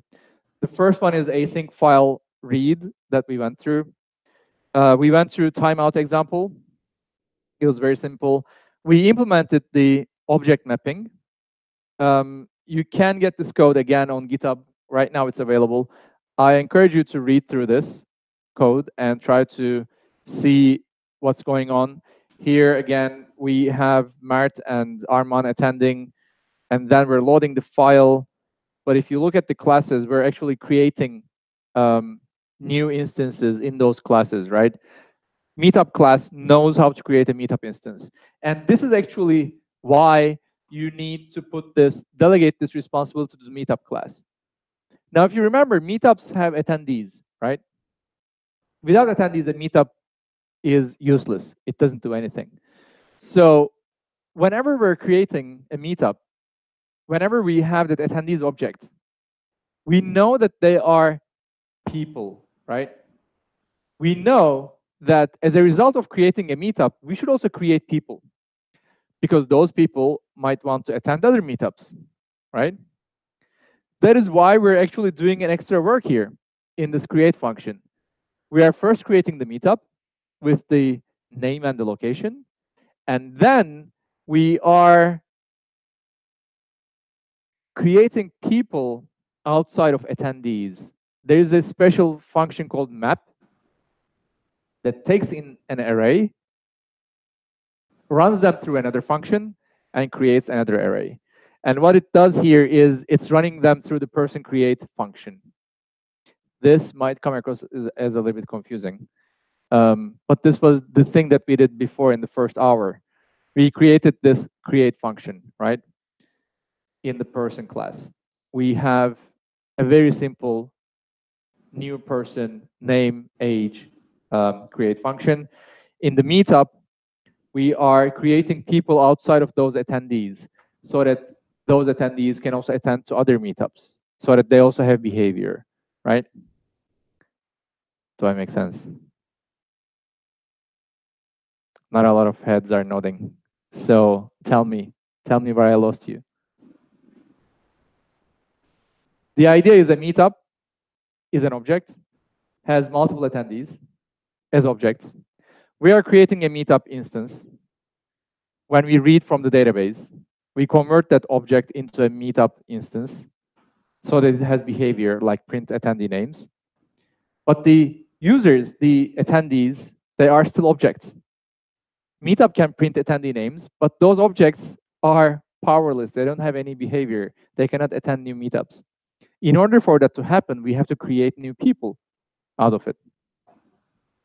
Right? That is why you need this functionality. We are saying, okay, we created that meetup. It has an attendees array that is creating more people. Let me run this code and show you very quickly what it does. In, this is not the correct index file. In the index file, I'm creating Mert and Arman and Women Techmakers Berlin. Arman is attending Women Techmakers Berlin. Mert is attending Women Techmakers Berlin. Um, and then we're saving it to data JSON. Okay, let's run this and see what's happening. Create Mert, create Arman, create WTM Berlin. They are attending it. Report the names here. So Women Techmakers Berlin meetup is held at Wayfair. I added a location as well. And number of attendees are two. We save the database. We load from the database. And now, you know, we have the name and the attendees. So here, loaded file is an object. Bless you. Loaded file is an object um, with name and attendees. Right now, it didn't go through the meetup.create method yet. We didn't do it. If you remember, in the previous example, we added here const meetup equals meetup.create loaded file, right? Do you remember this? Yeah, this is what we did before. Because right now, if I don't have that line, if I don't have this line, loaded file dot print, you see it's not working. Print attendee names is not a function, it's undefined because it's still an object. What I'm doing is I'm creating a real meetup from that. Now, let's go to that meetup.js and let's comment out this attendees as if we didn't do it, right? Let's run this again. Um, let's run the meetup name.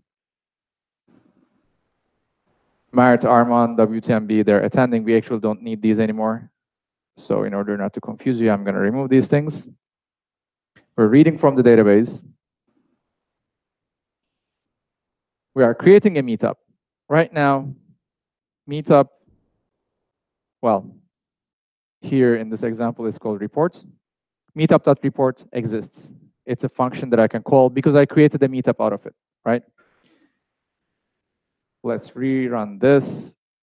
We load the database we try to create the meetup. The next line will be this create function on the right. We're creating a new meetup. And we run, and we can log, you know, we can say meetup.report. This will work. We can also log meetup.attendees zero name. This should also work. Let's run this meetup report. Oh, it threw an error. Cannot read property name of undefined. Oh, wait. Ah, okay. See what happened? What the error is? It has zero attendees right now. In the JSON, there are actually two people. In the data JSON, there are actually two people attending that meetup but we have zero of them. We ran into the same problem before and we solved it. If you remember, we're not passing in attendees as a parameter, right? And the default value is how we indicated here. The default value is an empty array. And here, let's pass in attendees. Now let's run this. you have two attendees and the name of the first attendee is Arman. This works. Let me create a new meetup. Const um, Wayfair meetup equals new meetup. Name Wayfair. Okay. Now, can Arman attend Wayfair meetup? Will this work? What? Location. Yeah, great. Let's pass in a location.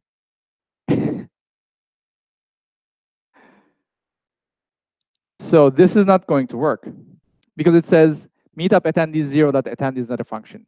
Why is that meetup attendee zero is still an object? That's why I need this line. I need to override the attendees and say, hey, they're actually people. So create those people for me, okay? And now, when I'm creating actual real people out of these attendees, when I run it, you're going to see that actually um, Arman was able to attend the Wayfair meetup. And when I report, Wayfair meetup is held at location and number of attendees are one. If you see the object here, Wayfair meetup attendees is Arman. So Arman is able to attend that meetup right now. This is a complex object creation logic. That's why it cannot be in index.js. That's why you have to wrap it in a in a way that um, the original developers of that meetup will know.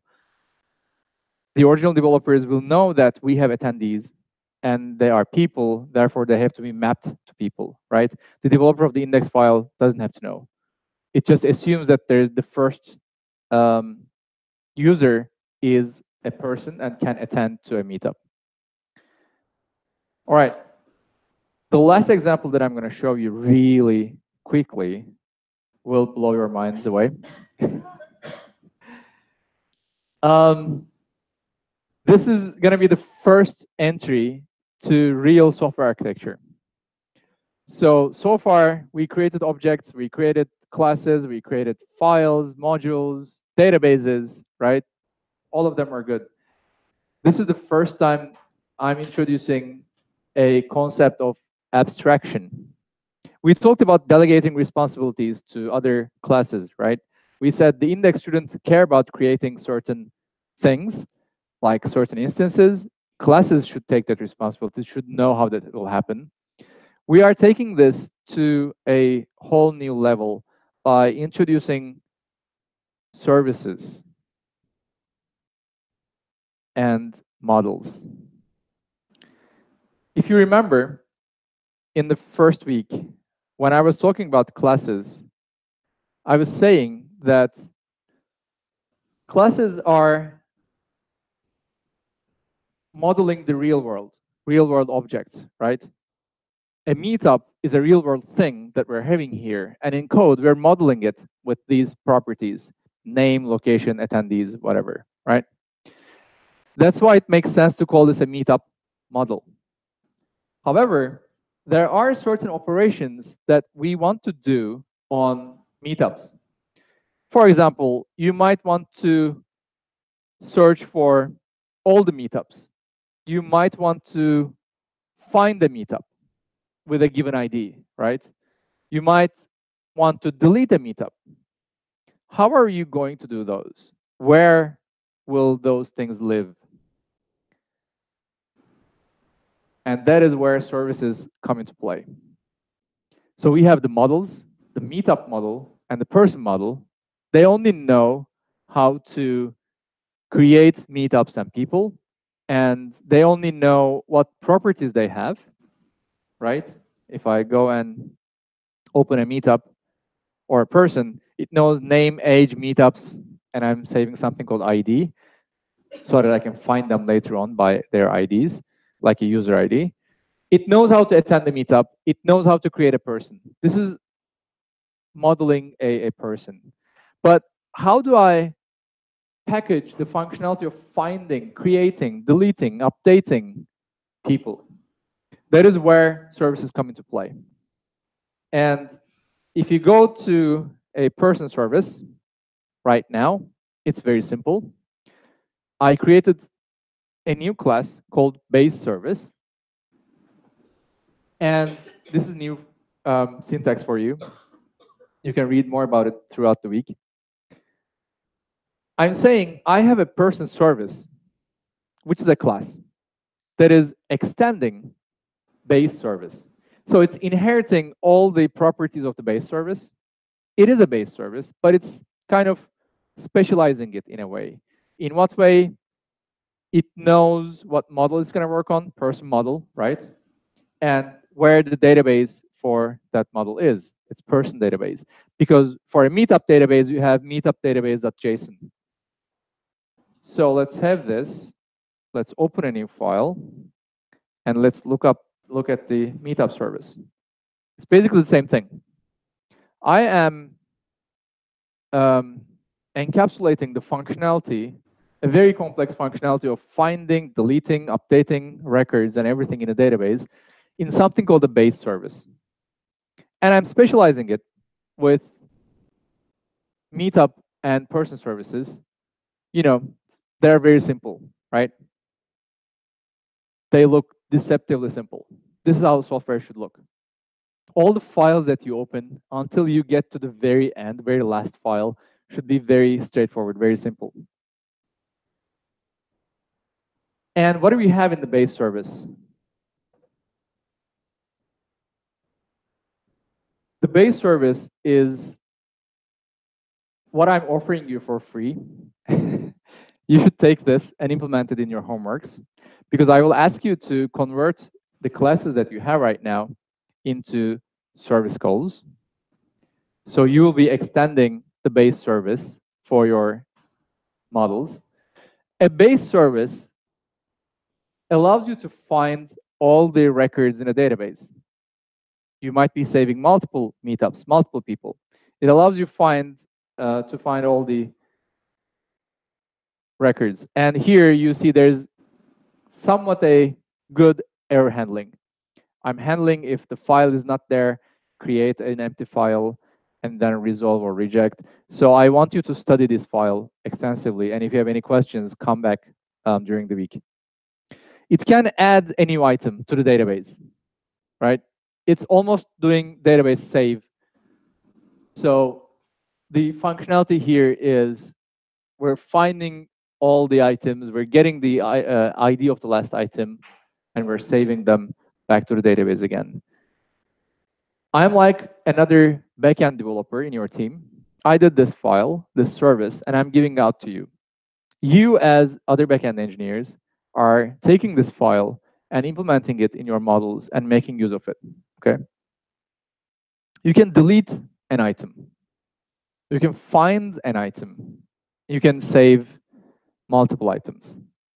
How you use it is here. Again, this is an asynchronous function. I'm using async await. All the stuff that I taught you today, there's a main function that I'm executing. So I'm creating Mert and Arman, okay? I'm awaiting the person service to add these to the database. And then I'm finding all the people, person service that find all. As a user in index.js, I don't want to know any more details. I just want to talk to a person service to do everything for me. There is no database save, database load. That those are not my concerns. Those are the concerns of the server. Okay, uh, the the service. What I do is person service that add merits. Do whatever you want. Save it to a database. I don't care. I'm the user of it. I'm adding Mert and Arman, and I'm finding all the users. You can log the people you can add a new meetup to the meetup service that should add all the users. And then, um, you know, I can say, find the first meetup, for example. Let's run this code.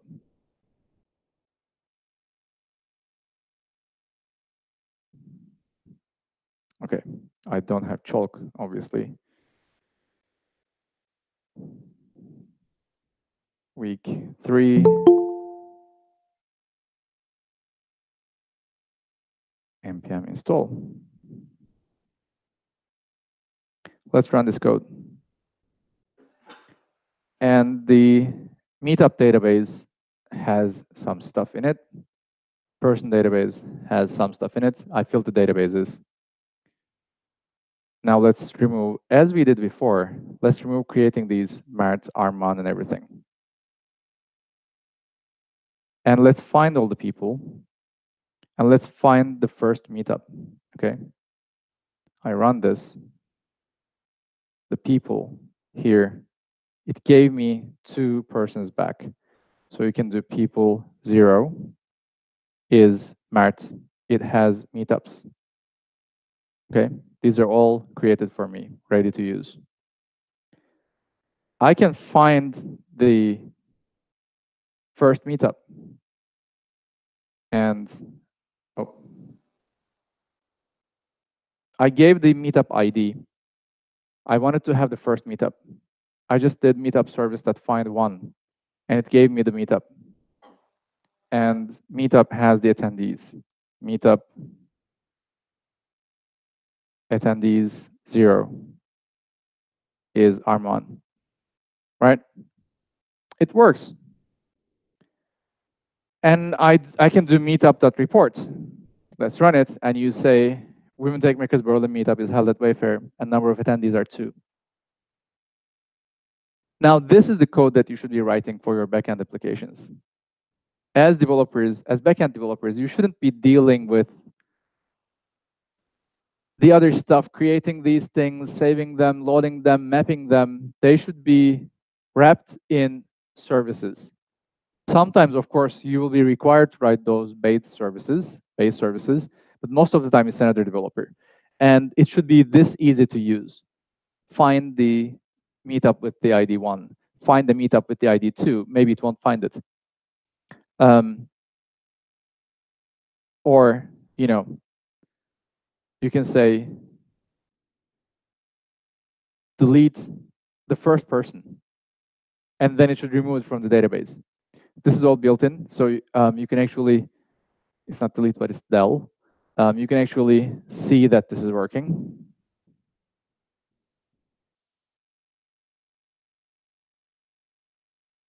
The person database is here. We have a lot of items here. Like Arman is here, and I can actually delete him. And it's going to update the person database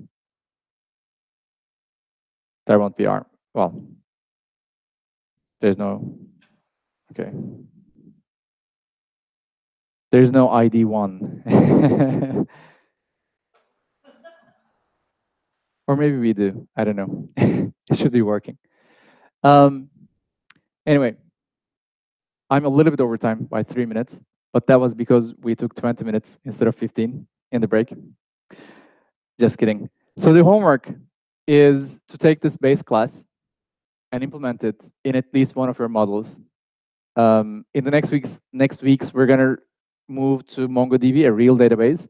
Before we do that, I want you to experience how it's working with services, what it means to work with services. So I know you have a lot of entities, a lot of models in your classes. Um, we will convert them into MongoDB models after the fifth week. Before that, please convert at least one of your models into a service-based architecture, okay? This is a state-of-the-art architecture that every single company uses in the world. This is pretty much the de, de facto way of building applications. You have models, you have services. This is called domain-driven design. There's a great book called Domain-Driven Design, if you'd like to read it. It's a very heavy book, 750 pages. Um, it's very advanced, but it is the basically the foundation of all software architecture. Um, if you know domain-driven design by heart, you're a very good software architect. We're still trying to figure out. You know, I I think I read it five or six times already. Every time I read it, every couple of years, I'm finding new meanings in it. It's a great book, great reference book. Um, and we have these domain models and domain services. You can read about them online don't read blog posts. I mean, definitely do read them, but don't take them for granted because it's very difficult to understand domain-driven design and probably any blog post that you're going to find about it will give you a wrong information. the best is to read from the source. The book is out there. It's humanly readable, so just takes a lot of time. Um, but if you really want to be software engineers, you should be um, reading and knowing that that book by heart. The gist of the idea is we have services and models that I already showed you, and I'm sharing the um, the code with you. Again, in every single company that you're going to go, you're going to see these things. There is a service that does find, delete, update, whatever. There are models, just like we did, and then there are these index files that are working with these things.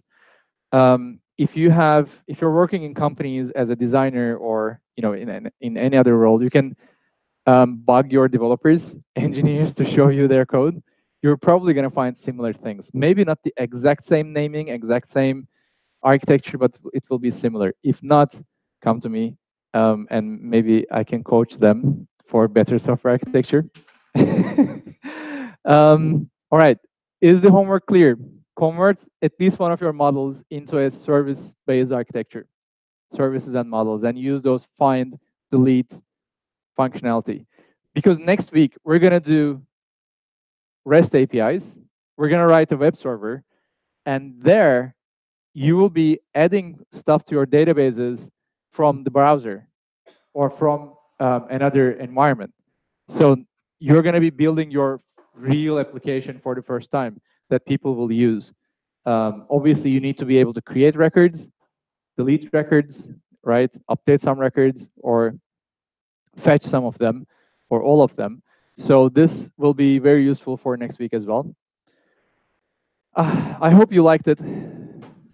Thank you for staying longer. Thanks. If you have any questions in the meantime, please ask us over Slack. Thank you.